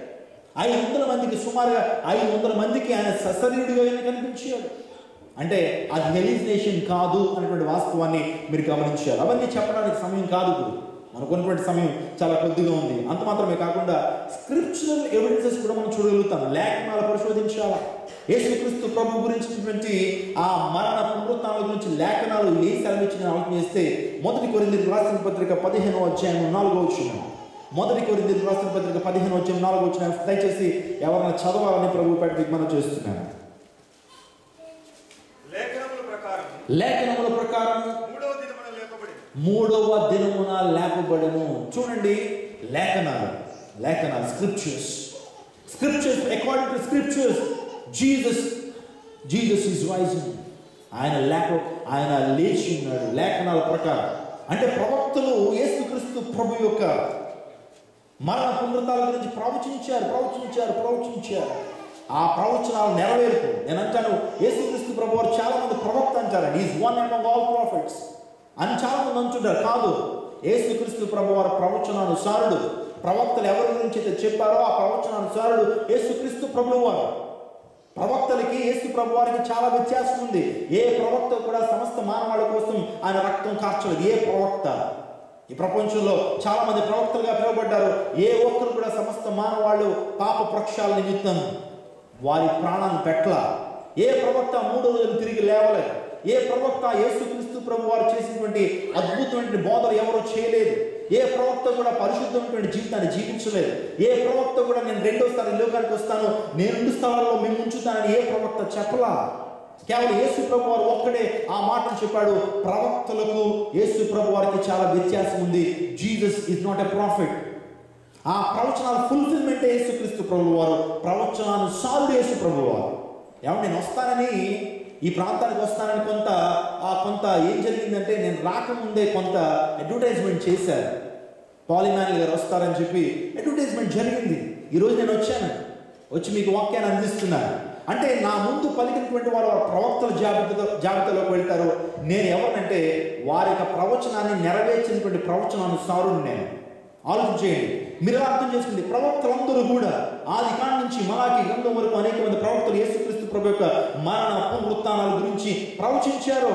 యేసు ప్రభు వారు కనికి పుడతాడు యేసుక్రీస్తు ప్రభు వారు ఆయన రక్షకుడిగా ఉంచాడు. యేసుక్రీస్తు ప్రభు మరణం గురించి ప్రవచనాలు మనందరం కూడా ధ్యానం చేశాం. ఆయన పునరుత్నం గురించి కూడా ప్రవచనాలు ఉన్నాయి. యోగు అంటాడు నా విమోచకుడు సజీవుడు. మై రిడీమర్ ఈజ్ ఎలైవ్ నా విమోచకుడు సజీవుడు అని అనేక ప్రవచనాలు మనం చూడగలుగుతున్నాం. ఈరోజు యేసుక్రీస్తు ప్రభు యొక్క పునరుత్నము అది స్క్రిప్చురల్ ఎవిడెన్సెస్ అనేటువంటి వాస్తవాన్ని మీరు గమనించాలి అంత మాత్రమే కాకుండా ఈరోజు యేసుక్రీస్తు ప్రభు వారు తిరిగి లేచారు అని చెప్పడానికి మన యొక్క జీవితాలే సాక్ష్యం. ఈరోజు రక్షించబడుతున్న అనేక మంది మారిన పాపపు జీవితాలే. ఒక పాప రక్షణ పొందుతున్నాడంటే యేసుక్రీస్తు ప్రభు వారు మరణాన్ని జయించాడు కాబట్టి. అపోస్తుడైన పౌలు క్రైస్తవ సంఘాన్ని హింసిస్తున్నాడు. హానికరుడు దూషకుడు ఉన్నటువంటి అపోస్తుడైన పౌలు ఎరుషులేలో ఉన్నటువంటి కొంతమందిని హింసించడానికి వెళ్తున్నప్పుడు దమస్కు మార్గంలో దమస్కు గవిని దగ్గర యేసుక్రీస్తు ప్రభు తన స్వరూప దర్శనాన్ని ఆయన ఆ- యొక్క సౌలుకి అందించినట్లుగా మనం చూడగలుగుతాం. స్వరూప దర్శనాన్ని చూశాడు యేసుక్రీస్తు ప్రభు యొక్క పునరుత్నమైనటువంటి ఆ యొక్క అంశాన్ని అపోస్తులైన పౌరులు కూడా చూడడానికి దేవుడు కృప చూపించాడు. ఇలా మనం ఆలోచించుకుంటూ పోతే చాలా చాలా ఆ, మనం నిదర్శనాలు రుజువులు మనం చూడగలుగుతాం. అంత మాత్రమే కాకుండా ఆ యేసు ప్రభు శిష్యుల్లో డౌటింగ్ డిసైపుల్ అని పిలుస్తారు. ఎవరైనా తోమ. ఇది డౌటింగ్ థామస్ అంటారు అన్ని అనుమానాలే. యేసుక్రీస్తు ప్రభు మరణాన్ని జయించిన తర్వాత యేసు ప్రభు వారు శిష్యుని ఎంతగానో ప్రేమించి వారు సిలువ టైంలో సిలువ దగ్గర అందరూ కూడా యేసు ప్రభు వారిని విడిచిపెట్టినా సరే ఆయన ప్రేమామయుడు కాబట్టి మరలా క్షమించాలనే ఉద్దేశంతో శిష్యుల దగ్గరికి వెళ్తుంటే తోమా దగ్గరికి వెళ్ళాడు. వెళ్ళి వెళ్తే తోమ అంటున్నాడు ఏసయ్య నువ్వు నిజంగా మరణాన్ని జయిస్తే కనుక నేను నమ్మట్లేదు నువ్వు ఏసు ఏసు అని నేను నమ్మట్లా. ఏసు రూపంలో ఇంకొక వ్యక్తి ఎవరినో వచ్చి ఇలాగా ఆ, నటిస్తున్నాడేమో అని చెప్పి నీ యొక్క గాయాల్లో వేలు పెట్టి చూస్తేనే కానీ నేను నమ్మనన్నాడు. మరొకసారి బాధపరిచాడు దేవుణ్ణి. నమ్మలేకపోతున్నాడు అవిశ్వాసం అప్పుడు అన్నాడు తోమా రా చూడు. నరచేతుల్లో మరొకసారి నా గాయాల్లో వేలు పెట్టి చూడన్నప్పుడు చూసి అప్పుడు నమ్మాడండి. ఆలోచన చేద్దాం. ఈ తోమ తన జీవితంలో అంటాడు? తన యొక్క తన జీవితంలో యోహన్ స్వార్త ఇరవై వచ్చాను ఇరవై ఎనిమిది ఇరవై తొమ్మిది వచ్చినాలో my Lord and my God అనేటువంటి మాట. My Lord and my God ఈరోజు చాలా మంది యేసుక్రీస్తు ప్రభు దైవత్వం ఒప్పుకున్నటువంటి వారు చాలా మంది ఉన్నారు. యేసు ప్రభు వారు కేవలం ప్రవక్త యేసు ప్రభు వారి దైవత్వం ఒప్పుకోరు. కానీ బైబిల్లో మనం సూటిగా మనం చూడగలుగుతున్న తోమ తను అంటున్నాడు my God and my Lord నా దేవా నా దేవుడు నీవు అని ఇక్కడ యేసుక్రీస్తు ప్రభు దైవత్వం గురించి మనం చూడగలుగుతున్నాం కీర్తనలు పదహారో అధ్యాయం పదిహేనో వచనంలో సారీ కీర్తనలు పదహారు పది పదహారవ కీర్తన పదవ చరణం. అక్కడ అంటాడు నీ పరిశుద్ధుల్ని కుళ్ళు పట్టనివ్వవు ఈ ప్రపంచంలో అండి హ్యూమన్ బాడీ అతి త్వరగా డీకంపోజ్ అవుతుంది. త్వరగా మన యొక్క శరీరము త్వరగా డీకంపోజ్ అవుతుంది త్వరగా పురుగులు పడుతుంది. చనిపోగానే మన శరీరాన్ని మట్టిలో పాతి పెట్టగానే ఒక రెండు మూడు రోజులకి మన శరీరం నుంచి ఒక తెల్లటి పురుగులు బయటకు వస్తాయండి. బద్దు పురుగులు లాంటివి. ఆ పురుగులు మన శరీరాన్ని తింటూ ఉంటాయి. కానీ యేసుక్రీస్తు ప్రభు యొక్క దేహము కుళ్ళు పట్టలేదు. నీ పరిశుద్ధుని కుళ్ళు పట్ట నీవు నీయవు అని అంటే ఆ వాగ్దానం యేసుక్రీస్తు ప్రభు గురించినటువంటి వాగ్దానం. మీరు ఆలోచించండి యేసుక్రీస్తు ప్రభు వారు జన్మించినప్పుడు ముగ్గురు జ్ఞానులు యేసుక్రీస్తు ప్రభు వారికి ఏమి ఇచ్చారు? బహుమానాలు ఇచ్చారు. ఏంటి ఆ బహుమానాలు? బంగారము బోళము సాంబ్రాణి. సో బంగారము దేని సూచిస్తుందంటే ఎవరైనా బహుమానాలు ఇచ్చేటప్పుడు ఒక గొప్ప వ్యక్తికి బహుమానాలు ఇచ్చేటప్పుడు బంగారం ఇస్తారు. ఆలోచన చేయండి బంగారం అనేది అది ఇట్స్ ప్రెషియస్ మెటల్ అది చాలా ప్రాముఖ్యమైనటువంటి మెటల్ ఎప్పుడన్నా గిఫ్ట్లు ఎవరికైనా ఇచ్చేటప్పుడు రాజునికి ఎక్స్పెషల్లీ రాజులకి గిఫ్ట్లు ఇస్తున్నప్పుడు చిన్న చిన్న ఏమెవరు? ఏమండి? చిన్న చిన్న డబ్బాలు చిన్న చిన్న గ్లాసులు అలాంటివి ఎవరు? రాజుకి బహుమానులు ఇచ్చినప్పుడు బంగారంతో చేయబడినటువంటివి ఇస్తూ ఉంటారు. రీసెంట్గా ఒక అరబ్ రాజు విక్టోరియా మహారాణికి అంటే బ్రిటిష్ క్వీన్కి ఒక బహుమానం ఇచ్చాడండి. కొన్ని కోట్ల రూపాయలు కొన్ని కోట్ల డాలర్లు విలువ చేసేటువంటి బంగారు యొక్క ట్రైన్ తీసుకెళ్ళాడు. అంటే ఆలోచించండి రాజుకి ఇచ్చేటప్పుడు ఎప్పుడు కూడా ఘనంగా ఇవ్వాలి బంగారం ఇస్తూ ఉంటారో. అందును బట్టి యేసుక్రీస్తు ప్రభు వారి యూదులకు రాజు. ఆయన సర్వ ప్రపంచానికి చక్రవర్తి అని తెలుసుకున్నటువంటి ఆ రాజు లేకపోతే ఆ యొక్క జ్ఞాని యేసు ప్రభు వారికి బంగారం ఇచ్చాడు. అంటే రాజు అని గుర్తించాడు. Lord Jesus your king of kings and lord of lords you created entire universe with your mighty power నువ్వు నువ్వు సర్వలోకానికి చక్రవర్తి అని గమనించి బంగారం ఇచ్చాడు. ఆ తర్వాత యేసుక్రీస్తు ప్రభు వారికి సాంబ్రాన్ని ఇచ్చారు. ఫ్రాంకిన్సెన్స్ దాని యొక్క అర్థం ఏంటంటే యేసుక్రీస్తు ప్రభు ఫ్రాంకిన్సెన్స్ ఎక్కడ వాడతారు అని ఆలోచన చేస్తే ప్రత్యక్ష గుడారంలో ప్రత్యక్ష గుడారంలో అతి పరిశుద్ధ స్థలంలో అతి పరిశుద్ధ స్థలంలో ప్రధాన యాజకుడు దేవుడు ధూపార్తిని వేస్తాడు. దేనితో అంటే సామ్రాణితో. అంటే అత ఆ వ్యక్తి గుర్తించాడు యేసుక్రీస్తు ప్రభు వారు ఆయన ప్రధాన యాజకుడు. ఆయన ఈ లోకానికి దేవునికి మానవునికి మధ్యవర్తి అని గమనించి ఏమిచ్చాడు సాంబ్రాన్ని ఇచ్చాడు. మరి బోళం ఎందుకు ఇచ్చారండి? బోళం ఎందుకు ఉపయోగపడుతుంది అని అంటే జాగ్రత్తగా వినండి. బోళం అనేది ఒక ఔషధ గుణాలు కలిగినటువంటిది. ఆ బోళాన్ని ఎందుకు ఇచ్చాడని ఆలోచన చేస్తే పూర్వకాలంలో ఒక్కసారి మనం ఈజిప్షియన్ హిస్టరీకి వెళ్ళిపోతే ఐగుప్తు చరిత్రకి మనం వెళితే కనుక ఐగుప్తు రాజ్యాన్ని పరిపాలన చేసినటువంటి వారిని ఫారోస్ అంటారు ఫరోల్ అంటారు. వారికి ఒక మూడాచారం ఉంటుండేది. అదేంటంటే చనిపోయిన తర్వాత మన శరీరం కుళ్ళు పట్టకుండా ఉంచితే మన శరీరం కుళ్ళిపోకుండా డీకంపోజ్ అవ్వకుండా ఉంటే కనుక మనం నేరుగా స్వర్గానికి వెళ్ళిపోతాం. అనేటువంటి ఒక మూఢనమ్మకం ఉంటుండేది. అందులో బట్టే వారు చనిపోయినప్పుడు కొంతమంది వారి దగ్గర ఉన్నటువంటి వారిని వారు ఏర్పాటు చేసుకుని వారి శరీరంలోంచి ప్రధానమైనటువంటి అవయవాలు అంటే మెయిన్ ఆర్గన్స్ అనేటువంటి గుండె కాలేయము ఊపిరితిత్తులు ఆ తర్వాత మెదడు ఆ శరీరం నుంచి వేరు చేస్తుండేవారు. మెదడుని ఏ విధంగా వేరు చేస్తుండేవారు అని అంటే ముక్కులోంచి మెదడును బయట తీసేస్తుండేవారు.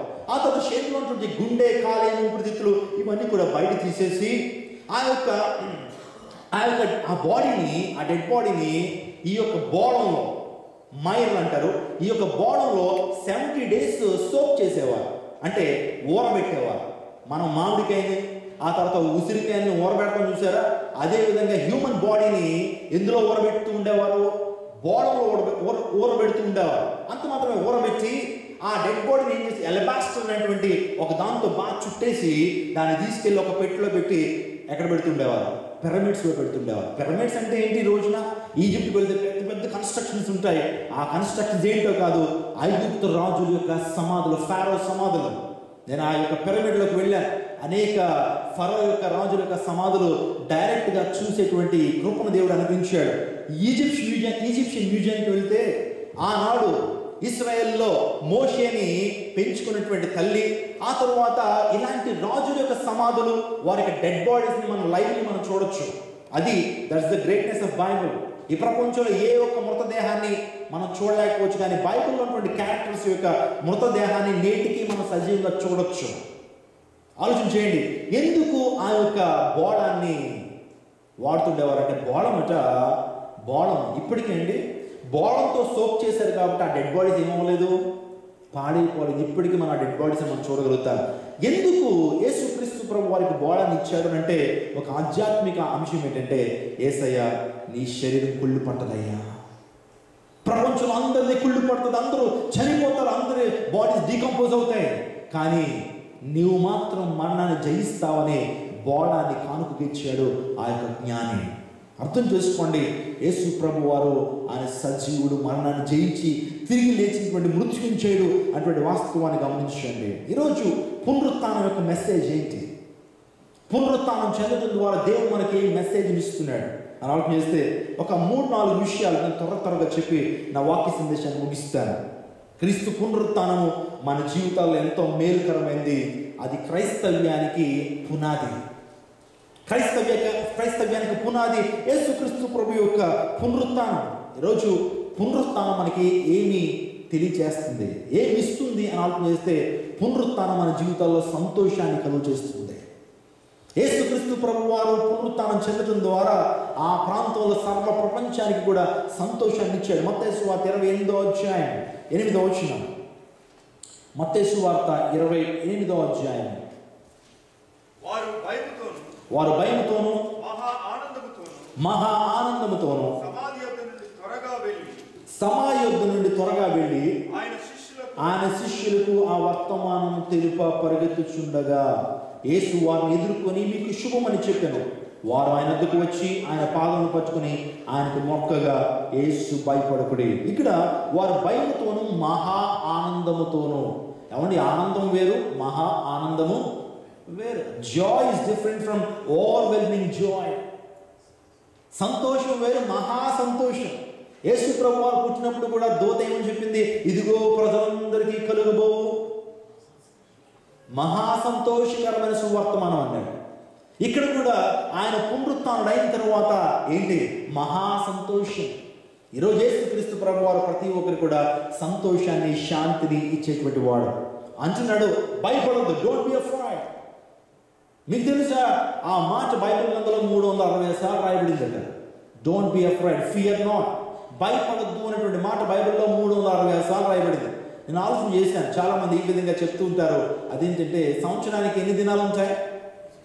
How many days are there in the in year three sixty five days అంటే ప్రతిరోజు కూడా యేసు ప్రభు వారు ఒకసారి నీకు భయపడద్దు అని చెప్తున్నాడు మూడు వందల అరవై సార్లు. అంటే లీవ్ సంవత్సరాన్ని కూడా ఆయన విడిచిపెట్టల. లీవ్ సంవత్సరాలు ఎన్ని ఉంటాయి? డేస్ ఫిబ్రవరి మాసానికి ఇరవై తొమ్మిది రోజులు. అంటే లీవ్ సంవత్సరంలో మూడు వందల అరవై ఆరు రోజులు ఉంటాయి. అంటే బైబిల్లో ఎగ్జాక్ట్లీ మూడు వందల అరవై ఆరు రోజులు అరవై ఆరు సార్లు భయపడొద్దు అనేటువంటి మాటను దేవుడు రాయించి పెట్టాడంటే ఒక ఒక వర్తమానం. డోంట్ బి అఫ్రైడ్ ప్రతిరోజు ఉదయాన్నే చెప్తున్నాడు don't be afraid don't be afraid for future నీ యొక్క ఫ్యూచర్ గురించి భయపడొద్దు. నీ పిల్లల భవిష్యత్తు గురించి భయపడద్దు. నీకేమైనా వ్యాధులు ఉన్నాయా భయపడద్దు. ప్రతి విషయానికి కూడా దేవుడు చెప్తున్నాడు. భయపడద్దు. ఆయన బీ యూ నేను మీతో ఉన్నాను. నేను నేను మరణిస్తే కనుక మీరు భయపడాలి. ఎందుకో తెలుసా? నేను మరణిస్తే మీకేం చేయలేను. నేను మృతుడినైతే నేను మరలా ఏం చేయలేను. కానీ నేను సజీవుడిని మీరు భయపడాల్సిన అవసరం లేదు. గొప్ప ధైర్యంతో ఆయన చెప్తున్నాడు మీరు మహా ఆనందం కలిగి ఉన్నారు. ఈ రోజున మగ్ధలైన మరియ కూడా అక్కడ ఎప్పుడైతే దూత రాతిని దొరిలించిందో ఎప్పుడైతే చెప్పిన దూత ఆయన లేచి ఉన్నాడు. Is not here is risen ఆయన లేచి ఉన్నాడని చెప్పినప్పుడు ఆమె హృదయం ఎంతో సంతోషంతో నింపబడి was she was filled with joy she was filled with overwhelming joy యేసుక్రీస్తు ప్రభు వారు పునరుత్డని తెలిసిన తర్వాత అప్పుడు వరకు ఏమనుకుందో తెలుసా? ఆ- ఆయన మృతదేహానికి సుగంధ ద్రవ్యాలు పువ్వాయాలని పుయ్యాలని వచ్చింది. కానీ యేసు ప్రభు వారు అక్కడ లేకపోయేటప్పటికి దూత చెప్పింది is not here is rising అని చెప్పినప్పుడు సంతోషంతో నింపబడింది. ఈరోజు యేసుక్రీస్తు ప్రభు యొక్క పునరుత్థానం నీకు సంతోషాన్ని ఇస్తుంది. ఈ రోజున శాంతి కోసం మానవుడు పరితపిస్తున్నాడండి. శాంతి కోసం మానవుడు పరితపిస్తున్నాడు. శాంతి దొరుకుతుందని ఎక్కడ కావాలంటే అక్కడ పరుగులు తీస్తున్నాడు. ధనంలో శాంతి ఉందని చెప్పి ధనాన్ని సంపాదిస్తున్నాడు. లేకపోతే పలుకుబడిలో శాంతి ఉందని చెప్పి పలుకుబడిని సంపాదించడానికి ప్రయాసపడుతున్నాడు. లేకపోతే కొన్ని చెడు వేస్తున్నాడు. డ్రగ్స్ తీసుకోవడం ద్వారా ధూమపానం మద్యపానం చేయడం ద్వారా వాటికి శాంతి కలుగుతుందని ఆనందం కలుగుతుందని మానవుడు ప్రయాసపడుతున్నాడు. కానీ ఒక వాస్తవం వారికి తెలియట్లా? వాటిలో నిజమైనటువంటి శాంతి లేదు. పాపంలో నిజమైనటువంటి శాంతి లేదు. తాత్కాలికమైన ఆనందాన్ని పాపం నీకు ఇవ్వగలుగుతుందేమో కానీ శాశ్వత ఆనందం యేసు ప్రభు వారు ఒక్కడు మాత్రమే నీకు ఇవ్వగలుగుతాడు. ఆలోచన చేయండి ప్రపంచం అంతా కూడా శాంతి శాంతి హోమాలు. జరుపుతున్నారు. యేసు ప్రభు వారి లోకానికి వచ్చి my peace I give to you నా శాంతిని మీకు అనుగ్రహిస్తున్నాను. కానీ డబ్బు ద్వారా వస్తుందా శాంతి ఆనందం? అలా అంటే కనుక చాలా మంది వ్యక్తులను ముందు పెట్టగలుగుతాను నేను. డబ్బు ద్వారా ఆనందము శాంతి ఉంటుందంటే కోటీశ్వరం తీసుకొచ్చి మీ ముందు నిలబెడతాను. వాళ్ళు ఏమంటారు తెలుసా? ఈ డబ్బులో మాకు ఆనందం లేదు. మైక్రోసాఫ్ట్ అనేటువంటి కంపెనీని స్థాపించాడు William George Gates. Bill Gates. కొన్ని కోట్ల రూపాయలు సంపాదించాడు. కోట్ల ఆస్తిని కూడబెట్టాడు. ప్రపంచంలో ఒక పెను మార్పును తీసుకొచ్చాడు విండోస్ మైక్రోసాఫ్ట్ అనేటువంటి కంపెనీ స్థాపించి మీకు అందరికి తెలుసు. అప్పటి నుంచే సాఫ్ట్వేర్ భూమ్ మనందరికీ బాగా తెలుసు విపరీతంగా కంప్యూటర్స్ దాని యొక్క హవా ప్రారంభించబడింది. అతని ఆస్తిని కనుక మీరు నెట్లో కనుక చూసినట్లయితే ఒకసారి నేను ఆయన గురించి చదువుతున్నప్పుడు ఆయన ఆస్తి గురించి వివరాలు చదివాను. అదేంటంటే ఈ యొక్క Bill Gates William George Gates అతని ఆస్తిని కనుక పేదలకు పనిచేస్తే రోజుకి కోటి రూపాయలు చొప్పున పంచిపెట్టేస్తే కోటి రూపాయలు అంటే ఎంత అండి కోటి రూపాయలు అంటే ఎంత మీకు? కోటి రూపాయలు చొప్పున రోజుకి పేదలకు పంచిపెట్టేస్తేనట అతడు తన ఆస్తిని అక్షరాల నాలుగు వందల డెబ్బై మూడు సంవత్సరాలు పంచిపెట్టగలిగాట ఒకసారి ఇంటికి వెళ్ళిన తర్వాత క్యాలిక్యులేట్ చేసుకోండి. అంటే సంవత్సరానికి మూడు వందల అరవై ఐదు రోజులు into four hundred seventy three years.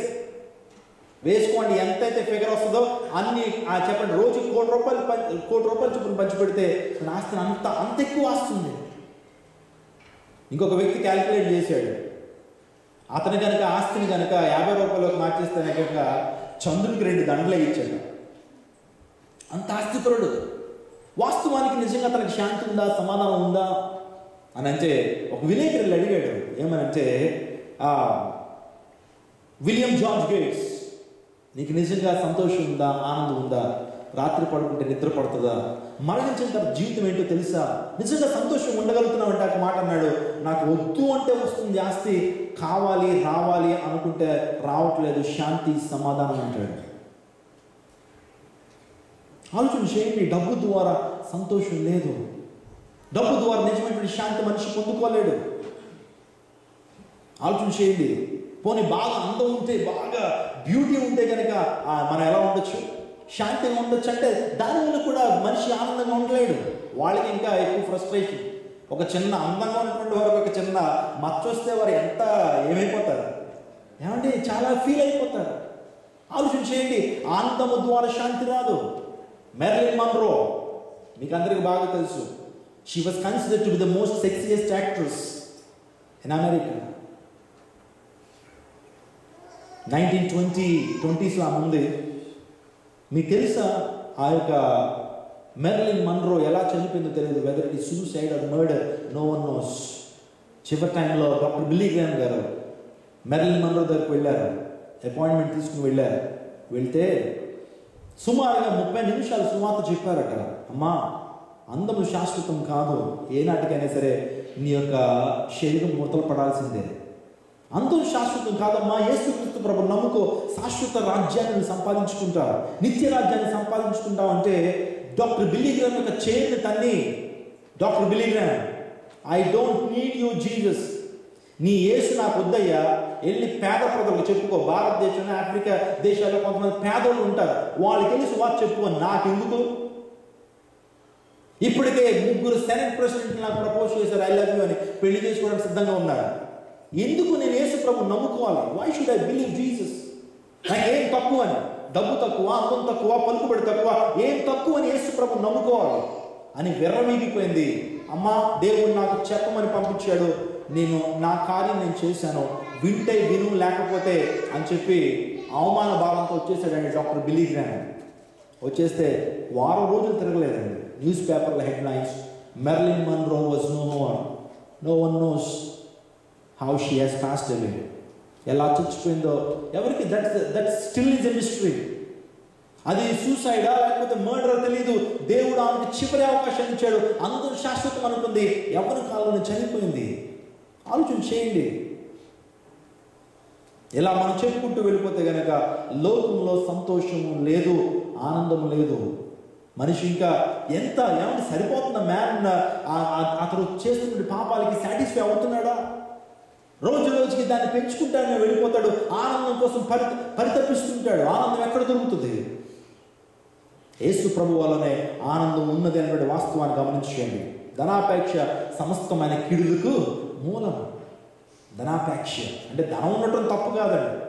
ధనం సంపాదించడం తప్పు కాదు. ధనం మీద అపేక్ష బాగా గ్రీడినెస్ ధనం కావాలి నాకే కావాలి ఎక్కువ సంపాదించినటువంటి ఆశ ఏదైతే ఉందో అది దేవుని దృష్టిలో అది పాపం అనేటువంటి వాస్తవాన్ని మీరు గమనించాలి.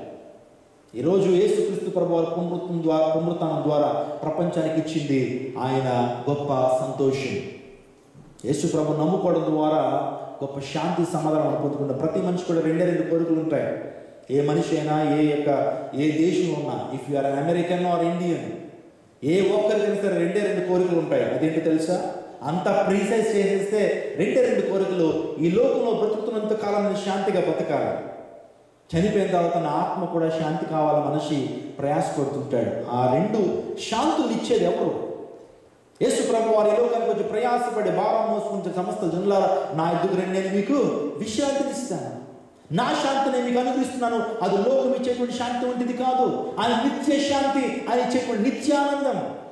అపోజిట్ పౌలు అంత ధైర్యంగా ఎలా చెప్పగలిగాడు? For me to live is Christ death is gain నా మట్టుకైతే బ్రతుకుడు క్రీస్తే చావు అయితే లాభం అని ఎలా చెప్పాడు తెలుసా? ఆయన ఈ లోకాన్ని పెంటగా ఇచ్చాడు. అంత మాత్రమే కాకుండా ఆయనకు తెలుసు ఈ లోకం శాశ్వతం కాదని నా పరలోక రాజ్యం శాశ్వత రాజ్యం అని. ఈరోజు శాంతి అంటే చెప్పమంటారా? If you are experience a real peace and joy that God is giving you అది ఎలా ఉందో తెలుసా?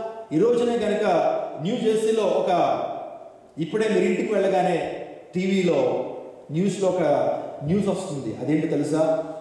ఆకాశంలో ఒక ఎత్ ఐ మీన్ కొంత కొంత డిస్టర్బెన్స్ జరిగింది. గ్రహాలు గ్రహశేఖరం వచ్చి కరెక్ట్గా అమెరికాలో న్యూజెర్సీలో పడుతుంది. మొత్తం న్యూజెర్సీలో అందరూ చచ్చిపోతారు. ఏ ఒక్కరు కూడా మిగలరు అని చెప్పి ఈ యొక్క వరల్డ్ మీడియా వాళ్ళు ఆ న్యూస్ని ప్రచురం చేశారు లేకపోతే కంటిన్యూస్గా ఫ్లాష్ న్యూస్ ఇస్తున్నారు. ఇప్పుడు ఎవరు భయపడకుండా ఉంటారు? మరి కొద్ది క్షణాల్లో చచ్చిపోతున్నామంటే అందరూ భయపడతారు. కాటికి కాలు జాచినటువంటి కురువృద్ధులు కూడా మరణం అంటే భయం. చచ్చిపోతున్నానా? అని ఆ ప్రాతకల వారి యొక్క వారి యొక్క ముఖాల్లో కనబడుతూ ఉంటుంది. ఎవరిని మరణం అంటే భయపడినటువంటి వారి ప్రపంచంలో ఎవరు లేరు. కానీ ఎవరైతే క్రీస్తు శాంతి వారిలో కలిగించారో క్రీస్తు ఇచ్చేటువంటి శాంతి వారిలో కలిగి ఉంటారో వారికి మరణానికి భయపడరు. స్తోత్రం చెప్పండి. హల్లెలూయా. మరణం దగ్గరికి వెళ్ళి మాట్లాడతారు. నా మటుకైతే బ్రతుకుడు క్రీస్తే చావు అయితే లాభం. ఎంతమంది అలా ఎంచుతారు చెప్పండి. నీలో శాంతి ఉంటే మరణానికి భయపడవు దేవుడు చెప్పిన శాంతి ఇలా ఉంటుంది రెండవదిగా రెండవదిగా పునరుత్నం మనకి చెప్పేటువంటి మెసేజ్ ఏంటి తెలుసా? పునరుత్నం ద్వారా దేవుడు బలపరిచాడు చాలా మందిని వారి విశ్వాసాన్ని బలపరిచాడు. పునరుత్న బలము. ఈరోజు పునరుత్థానం మనకి ఏం తెలియజేస్తుందంటే ఆ బలము. పునరుత్న బలం ఫిలిపిన్ రాసిన పత్రిక మూడవ అధ్యాయం పదకొండవ వచ్చిన ఫిలిపిన్ రాసిన పత్రిక మూడవ అధ్యాయం పదకొండవ వచ్చిన ఆయన పునరుత్న బలం ఎరుగు నిమిత్తం సమస్తమును నష్టపరుచుకుని వాటితో వాటిని పెంటగా సమానంగా ఎంచుకొని చున్నాను తౌలు మాట్లాడు ఆ పౌలు మహాశివుడు మాట్లాడతాడు. ఏమంటే సమస్తాన్ని ఎలా ఎంచుకున్నాడట? పెంటగా ఎంచుకున్నాడట. ఏమంటే సౌలు ఆ పౌలు గారు ఆయన సామాన్యమైనటువంటి వ్యక్తి కాదు. సామాన్యమైనటువంటి వ్యక్తి కాదు. ఆ టైంలో గణాలియల్ అనేటువంటి వ్యక్తి దగ్గర విద్యను అభ్యసించినటువంటి వాడు డాక్టరేట్ డిగ్రీని పొందుకున్నటువంటి వాడు గొప్ప జ్ఞానుడు గొప్ప జ్ఞాని. ఈ యొక్క జూయిష్ లా మీద జూయిష్ రిలీజన్ మీద డాక్టరేట్ డిగ్రీని పొందుకున్నటువంటి వాడు. అంత మాత్రమే కాకుండా తన తండ్రి తన తండ్రి తార్సస్లో లేకపోతే తార్స్ అనేటువంటి పట్టణంలో ఓడల వ్యాపారం చేసేవాడు. ఏమంటే ఓడల వ్యాపారం అంటే చిన్న విషయం అండి? ఓడలంటే ఒక ఓడ ఒక షిప్ని తయారు చేయడానికి ఒక షిప్ కొనడానికి కొన్ని చెప్పండి కొన్ని కోట్ల రూపాయలు అయిపోద్ది. ఆ వ్యాపారం చేసేవాడు. అంటే సౌ సౌలేమి పేదవాడు పేదవాడు కాదు. ఆయన చాలా ధనవంతుడు తండ్రి. అంత మాత్రమే కాకుండా ఇంకా ఆలోచన చేస్తే టాక్సెస్ యూనివర్సిటీలో డాక్టర్ డిగ్రీని పొందుకున్నటువంటి వాడు అంత మాత్రమే కాకుండా బెన్యామీని గోత్రం. పరిశీలితగా ఇంకా మనం చేస్తే ఇంత గొప్ప ప్రొఫైల్ ఉన్నటువంటి వాడు ఏమంటాడు తెలుసా? క్రీస్తు కొరకు నేను సమస్తాన్ని పెంటగా ఎంచుకున్నాను. ఈరోజు ఎందుకో తెలుసు ఎందుకు అలా చెప్పాడు తెలుసా? ఆయన పునరుత్థానాన్ని బాగా నమ్మాడు కాబట్టి. అపోస్తులైన క్రీస్తు యొక్క పునరుత్థానాన్ని నమ్మాడు విశ్వసించాడు కాబట్టి నేను ఒకరోజు చచ్చిపోతాను. ఒకరోజు మరణిస్తాను. మరణించిన తర్వాత నా కొరకు ఏముంది? పరలోక రాజ్యంలో జీవ ఉంది. ఏసై నా కొరకు ఆయన పరలోక రాజ్యం స్థలం సిద్ధపరచడానికి వెళ్ళాలని విశ్వసించాడు కాబట్టే ఈ లోకాన్ని ఎలా ఇచ్చాడు ఆయన? వెంటగా ఇచ్చాడు మనం మనం కొన్ని కొన్నిసార్లు ఈ లోకమే శాశ్వతం అనుకుంటారు ఈ రోజున దేవుని వాక్యం చెప్తుంది ఈ లోకంలో మరి యాత్రికులను పరదేశులై ఉన్నారు. ఇప్పుడు మనం ఈ లోకంలో ఎవరట? యాత్రికులము పరదేశులు అంటే ఫారినర్స్ అంటారు కదా. పరదేశులు ఏమంటారు? ఫారినర్స్ అంటారు. ఇప్పుడు నేను భారతదేశం నుంచి వచ్చాను ఈ దేశానికి మరలా తిరిగి వెళ్ళిపోవాలా నేను? ఖచ్చితంగా వెళ్ళిపోవాలి. ఉండెత్తారండి నేను ఉండనివ్వరు ఎందుకంటే I'm foreigner for this country నేను ఈ ఈ యొక్క ఈ యొక్క కంట్రీలో నేను సిటిజన్ కాదు. ఈరోజు దేవుడు అంటున్నాడు మీరు ఈ లోకంలో మీరు జస్ట్ ఫారినర్సే మీరు సిటిజన్స్ కాదు. మీ యొక్క సిటిజన్షిప్ పరలోక రాజ్యంలో ఉంది. ఎవరైనా సరే ఎవరైనా సరే రేపు పొద్దున ఎక్కడికి వెళ్ళాలి? నిత్యత్వానికి వెళ్ళాల్సిందే. ప్రతి ఒక్కరు నిత్యత్వానికి వెళ్ళాల్సిందే. కొన్ని కొన్నిసార్లు కొన్ని పక్షులు జంతువులు మనకు మంచి పాఠాలు నేర్పిస్తుంటాయండి మీరు ఎంతమంది కాకి తెలుసు? కాకి. అందరికీ తెలుసు కానీ చూశారు. కాకి మంచి మంచి పాఠాలు నేర్పిస్తుందండి? దాన్ని జాగ్రత్తగా అబ్జర్వ్ చేస్తే మనకు చాలా పాఠాలు నేర్పిస్తుంది. కాకి ఎప్పుడు కూడా తన గృహాన్ని పర్మనెంట్గా వేసుకోదు. అల్పంగా వేసుకుంటుంది. చిన్న చిన్న ఆ పుల్ల మొక్కలు తీసుకుంటూ ఆకులు తీసుకుంటూ స్వల్పంగా తయారు చేసుకుంటుంది. దానికి తెలుసు మరలా ఇది ఇది శాశ్వతం కాదని తెలుసు. అందుబట్టే అది అది అల్పంగా వేసుకుంటుంది దాని యొక్క గుడారాన్ని దాని యొక్క నెస్ట్ని అంతమాత్రమే కాకుండా కొన్ని కొన్నిసార్లు మనము మన యొక్క ఆస్తిని చూసి మన కారును చూసి మన యొక్క ఉద్యోగాన్ని చూసి మన డబ్బును చూసి మనం అనుకుంటాం ఇది నాది అనుకుంటాం. ఇది నాది ఈ కారు నాది ఈ బంగ్లా నాది ఈ యొక్క చెప్పండి లేకపోతే ఈ ఇల్లు నాది అని చెప్పి మానవుడు గర్విస్తుంటాడు. నాది నాది నాది అంటుంటే కాకి మన ఇంటి ముందే చెట్టు మీద ఉండి అంటది కావు కావు కావు అంటుంది అది. కాకిని కాకి ఏమని అరుస్తుందండి మర్చిపోయారు మీరు? ఇక్కడ కాకులు లేవు మరి. కాకి ఏమని పిలుస్తుందండి ఏమని అరుస్తుంది సారీ కావు కావు కావు అంటుంది. ఈ కారు నాది అంటే పైనుంచి అంటది కావు నీది అనుకుని నీ దేహం కూడా నీతో రాదమ్మా. నీది నీది అనుకుని నీ దేహం కూడా రేపు పొద్దున్న చనిపోయిన తర్వాత నీతో పాటు రాదు. ఒక్కడవే రావాలి ఒక్కడవే వెళ్ళిపోవాలి. అలెగ్జాండర్ ఒక మంచి పాఠం నేర్పుతాడు.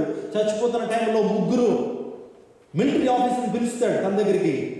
అంటాడు నేను చనిపోయిన తర్వాత నేను సంపాదించినటువంటి బంగారము వజ్రాలన్నీ కూడా నేను చనిపోతున్నాను ఆ పొజిషన్లో ఆ నా యొక్క రోడ్డు మీద రోడ్డు మీద పరచండి అంటాడు. రోడ్డు మీద రోడ్డు మీద విసురుకుంటా వెళ్ళండి అంటాడు. కోరిక అది. రెండోది అంటాడు నా- నన్ను ట్రీట్ చేసినటువంటి ఫిజిషియన్సే డాక్టర్సే నా శవపేటికను మోయాలి అంటాడు. నా కాఫిన్ని my physician my physicians should carry my coffin ఆ తర్వాత నా సమాధి పెట్టుకు రెండు రంధ్రాలు చేసి ఆ రెండు రంధ్రాల నుంచి నా చేతులు పైకి వేవ్ చేయండి. లేకపోతే నా రెండు చేతుల్ని ఆ రెండు రంధ్రాల నుంచి పైకి పెట్టండి అంటాడు. అప్పుడు మిలిటరీ ఆఫీసర్స్కి అర్థం కాదు ఏంటి రాజా? ఏంటి నీ కోరిక ఏంటి? ఎందుకు ఇలా అన్నావంటే అతను ఒక మాటను వైరాగ్యంతో నింపబడి ఒక మాట చెప్పాడు. ఏమని తెలుసా? ఈ ప్రపంచంలో ఏ ఫిజిషియన్ కూడా no physician can heal the human body completely A doctor కూడా మానవ శరీరాన్ని బాగు చేయలేడు. మానవ దే- మానవునికి ప్రాణాన్ని ఊపిరిని పోయలేడు. వారు ప్రయత్నం వారు చేస్తారే కానీ ప్రాణం పెట్టేవాడు లేకపోతే నేను రక్షించేవాడు దేవుడే. అందును బట్టి వారే నా యొక్క సమాధి పెట్టిన మోయాలి. ఆ నలుగురు డాక్టర్లు ఫిజిషియన్స్ అలెగ్జాండర్ యొక్క సమాధిని పెట్టి మోసారండి. అందరూ తెలుసుకున్నారు ఏమి చేయలేకపోయారు. మరణం నుంచి అలెగ్జాండర్ కాపాడలేకపోయారు ఈ యొక్క డాక్టర్లు అని ప్రపంచానికి తెలియాలన్నటువంటి ఉద్దేశంతో my coffin should be carried by my physicians రెండవ కోరిక నేను సంపాదించినటువంటి ఆస్తిపాస్తులు బంగారం వచ్చిన వైడూర్యాలు వెండి బంగారం ఏవి కూడా నేను చనిపోయిన నాతో పాటు తిరిగి రావు అందుని బట్టే వాటిని నా సమాధి పెట్టి వెళ్తున్నప్పుడు పరిచేయండి విసిరేయండి అన్నాడు. కొన్నిసార్లు భారతదేశంలో సమాధి పెట్టి వెళ్తున్నప్పుడు శవం వెళ్తున్నప్పుడు రూపాయి కాసులు ఎగరేస్తారండి. రూపాయి కాసులు ఎగరేస్తూ ఉంటారు కాయిన్స్ ఎగరేస్తుంటే ఎగరేస్తుంటారు. మూడోదిగా అలెగ్జాండర్ ఈ లోకానికి ఖాళీ చేతులతో వచ్చాడు తిరిగి అదే ఖాళీ చేతులతో తిరిగి వెళ్ళిపోతున్నాడు. Alexander came to this world with empty hands and is leaving this world with that same empty hands ఖాళీ చేతులతో వచ్చాడు ఖాళీ చేతులతో వెళ్ళిపోతాడు. ఈ మెసేజ్ బైబిల్ ఎగ్జాక్ట్లీ అదే చెప్తుంది. నీది అనుకున్న నీ దేహం కూడా నీతో పాటు రేపొద్దు నీతో పాటు రాదు. ఏది కూడా నీతో పాటు ఒక్కడవే రావాలి ఒక్కడవే వెళ్ళిపోవాలి. అది లైఫ్ నేను అంటాను లైఫ్ అంటే వూమ్ టు టోమ్ అండి. తల్లి గర్భం నుంచి మళ్ళీ ఎక్కడికి? ఎక్కడికి? సమాధికి. ఒక దేవుని సేవకుడు ఒక ఫిలాసఫర్ ఈ విధంగా నాడు జీవితం గురించి మాట్లాడుతూ బాల్యం ఒక అమాయకం అన్నాడు. బాల్యం ఒక అమాయకం. యవ్వనం ఒక పొరపాటు అన్నాడు. నడి వయసు మిడిల్ ఏజ్ ఒక పోరాటం అన్నాడు. వృద్ధాప్యం ఒక వ్యధ అన్నాడు. బాల్యం అంటే ఒక ఏంటది? ఒక అమాయకం. తెలిసి ఏం తెలియదు మనకు బాల్యంలో. యవ్వన కాలంలోకి వచ్చేటప్పటికి ఏంటి? మిస్టేక్ పొరపాటు. తెలిసినా తెలియనట్టు చూసినా చూడనట్టు సత్యం తెలిసినా తెలియనట్టు మనకంతా కూడా అయోమయంగా ఉంటుంది ఎవరి కాలంలో అదేంటి? మిస్టేక్ ఆ తర్వాత నడి వయసు మధ్య వయసు వచ్చినప్పటికి పోరాటం. పిల్లల్ని సెటిల్ చేయాలి. ఒక మనకి ఒక మంచి ఇల్లు ఉండాలి. మనకి సేవింగ్స్ గురించి ఆలోచన చేయాలని జీవితంలో నడి వయసులో కరెక్ట్గా ఆలోచన చేస్తాడు మనిషి పోరాటం స్ట్రగుల్ ఇంకా చివరికి వచ్చేటప్పటికి వృద్ధాప్యం. వెంటనే తిరిగిపోద్ది. ఎవరికాల నేను అనుకున్న నాకే ఇన్ని సంవత్సరాలు వచ్చేసి అనిపిస్తుంది ఒక్కొక్కసారి ఎంత ఫాస్ట్గా అయిపోతుంది ఏంటి? అప్పటికి అంటే ఒక్కొక్కసారి అంత ఫాస్ట్గా అయిపోతున్నాయి వృద్ధాప్యంలో కూడా ప్రవేశించడం అంత పెద్ద కష్టమేం కాదు. రోజులతో నేత కానీ నాడి కంటే త్వర నేత కానీ నాడి కంటే ఒడిగా సాగుతున్న దినాల్లో మనం ఉన్నా. వృద్ధాప్యం వచ్చేటప్పటికి వ్యధ. వ్యధ. ఏం సాధించాను?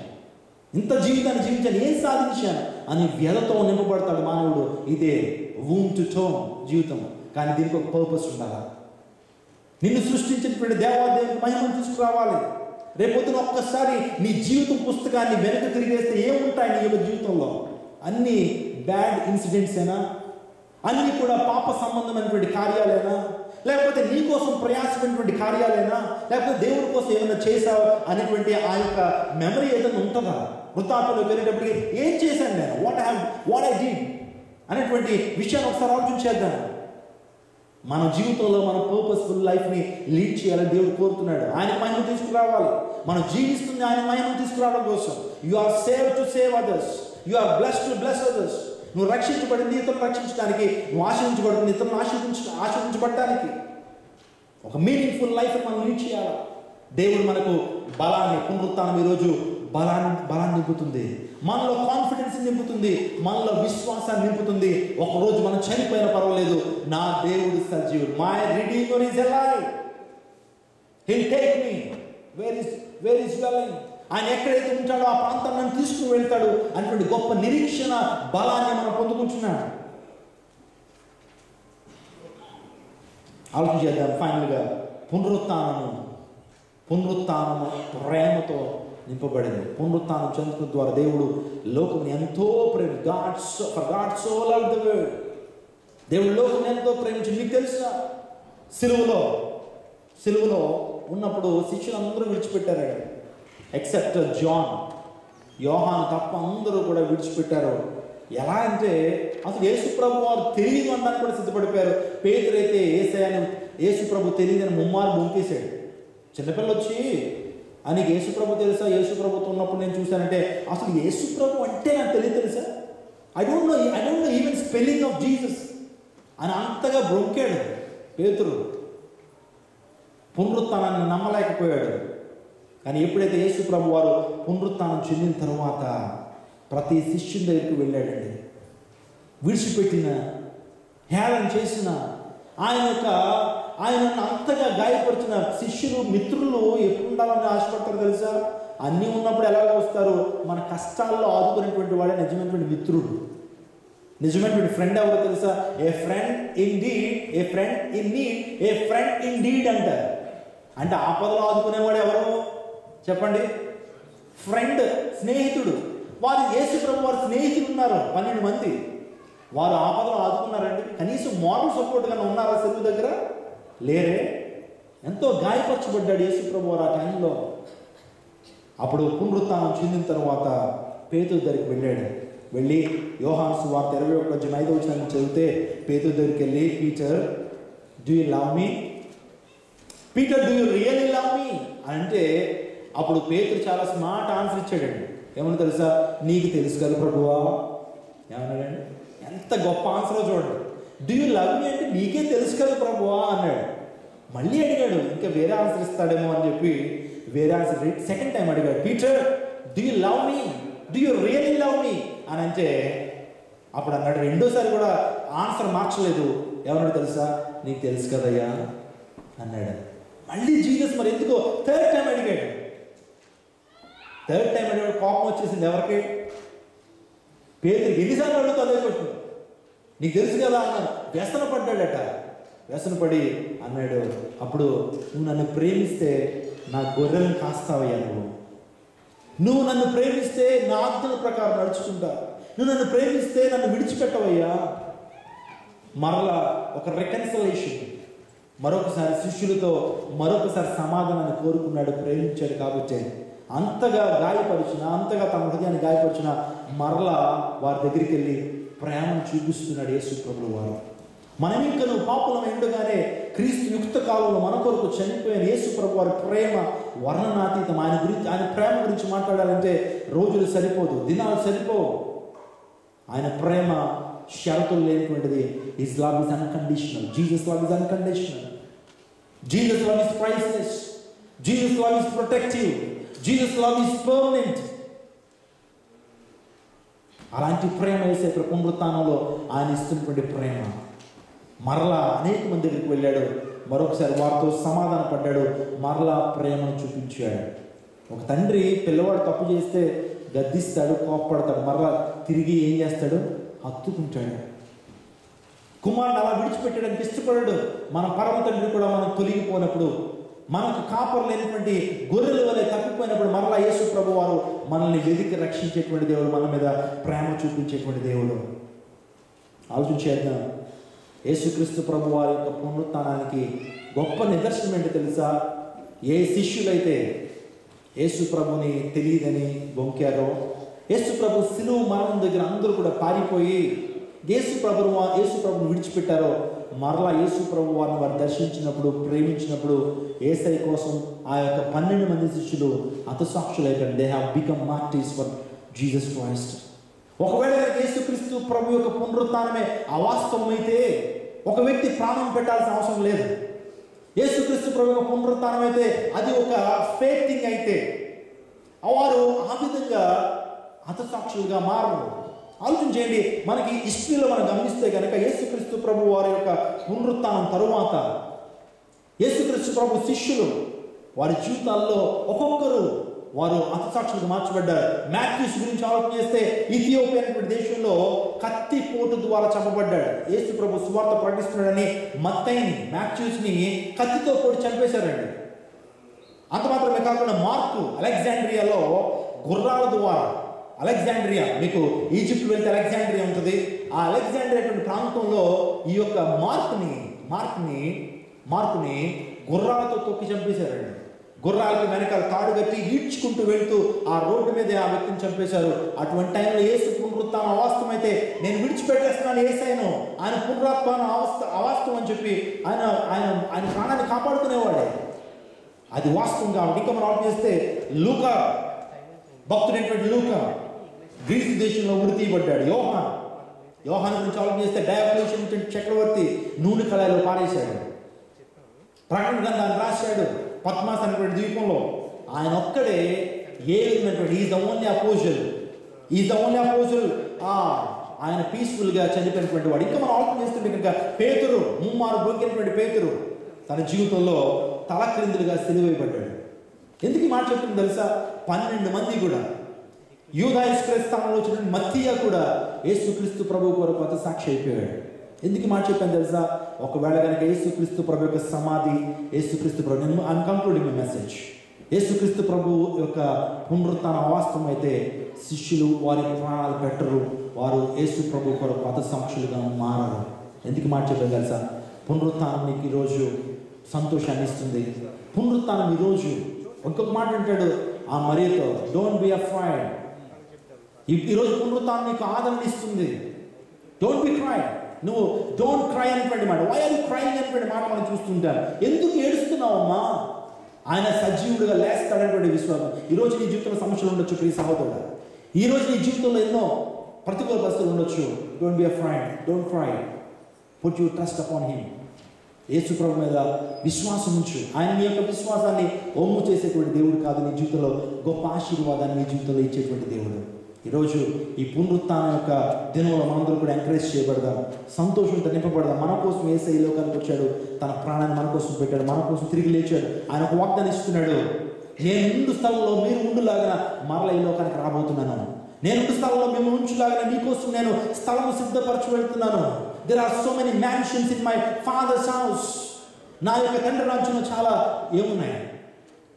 భవనాలు ఉన్నాయి వాటిని మీకోసం సిద్ధపరుస్తున్నాను. ఈరోజు క్రైస్తవ విశ్వాసానికి ఆలంబన యేసుక్రీస్తు ప్రభు కాళీ సంబంధం మనం నిరీక్షణతో నింపినటువంటి వారు. ఒకరోజు ఒకసారి ఇంగ్లాండ్ దేశం నుంచి ఒక షిప్ బయలుదేరిన అమెరికా దేశానికి అట్లాంటిక్ మా అట్లాంటిక్ ఓషన్లో. వెళ్తే ఆ యొక్క షిప్ మధ్యలోకి వెళ్ళేటప్పుడు ఏం జరిగిందో తెలుసా? ఐస్ బగ్ ఢీకొని ఐస్ బగ్ ఢీకొని ఆ యొక్క షిప్లోకి వాటర్ వచ్చేటప్పుడు ప్రారంభించింది. అప్పుడు వెంటనే ఆ యొక్క షిప్ క్యాప్టెన్ ఒక అనౌన్స్మెంట్ ఇచ్చాడు. మీ ప్రాణాలు మీరు రక్షించుకోండి. షిప్ ఒక ఫోర్ ఫోర్ అవర్స్లో షిప్ అంతా కూడా మునిగిపోతుంది అన్నప్పుడు ఒక సహోదరి చాలామంది ఏడుస్తున్నారు. నాలుగు గంటలు చచ్చిపోతున్నారు అంటే అందరూ కూడా విచార వదనాలతో ఉన్నారు ఏడుస్తున్నారు అటువంటి టైంలో ఒక సహోదరి పాటలు పాడుతుందట. ఎంతో సంతోషంగా ఆనందంగా పాటలు పాడుతుంటే సంతోషంగా ఆనందంగా పాటలు పాడుతుంటే జరిగినటువంటి వాస్తవం ఏంటో తెలుసా? అటువంటి టైంలో ఆ యొక్క అటు వ్యక్తి వచ్చాడట ఆ వ్యక్తి వచ్చాడు అమ్మ ఎందుకు ఎంత సంతోషంగా ఉన్నామంటే ఆ వ్యక్తి ఆ స్త్రీ చెప్పింది నేను ఒకవేళ ఈ యొక్క షిప్ మునిగిపోయి చచ్చిపోతే కనుక నా పెద్ద కుమార్ దగ్గరికి వెళ్తానండి. లేకపోతే ఈ షిప్ క్షేమంగా అమెరికా దేశానికి వెళ్తే కనుక అమెరికాలో నా చిన్న కుమార్తె ఉంది అక్కడికి వెళ్తాను అన్నదట అంటే దాని ఉద్దేశం ఏంటి తెలుసు? ఒకవేళ షిప్లో నేను చచ్చిపోతే ఈ నడి సముద్రం చచ్చిపోతే ఆల్రెడీ తన యొక్క పెద్ద కుమార్తె ఆల్రెడీ ప్రభువులో నిద్రించి పరలోక ఉంది. ఒకవేళ చచ్చిపోతే అక్కడికి వెళ్తాను? బతికి పట్టగట్టగలిగితే అమెరికా దేశానికి వెళ్తాను. That's the real faith and that's the real hope that we have in Christ Jesus close your rights చిన్న ప్రార్థన చేద్దాం. పరిశుద్ధాన్ని కొందనాలు తండ్రి ఈ యొక్క వాక్యపు లేఖనాలు వారి అందులో నాటి ఫలింప చేయండి ఈ యొక్క పునరుత్నం యొక్క మెసేజ్ని అనేక మంది హృదయాల్లో మీరు ప్రభు ఫలింపును అనుగ్రహించుకోండి మీ మందిరాన్ని దీవించండి. ప్రతి ఒక్క ఇంకెవరైతే రక్షణ పొందలేదో వారికి రక్షణ ఇవ్వండి. పునరుత్న బలాన్ని పునరుత్న సంతోషాన్ని బలాన్ని ప్రేమ వారికి అనుగ్రహించండి. సమస్త మహిమలంతా ప్రభు ఆరంభిస్తూ ఏ సునామం పెట్టడి వేడుకొచ్చున్నాను తండ్రి. Thank you అనండో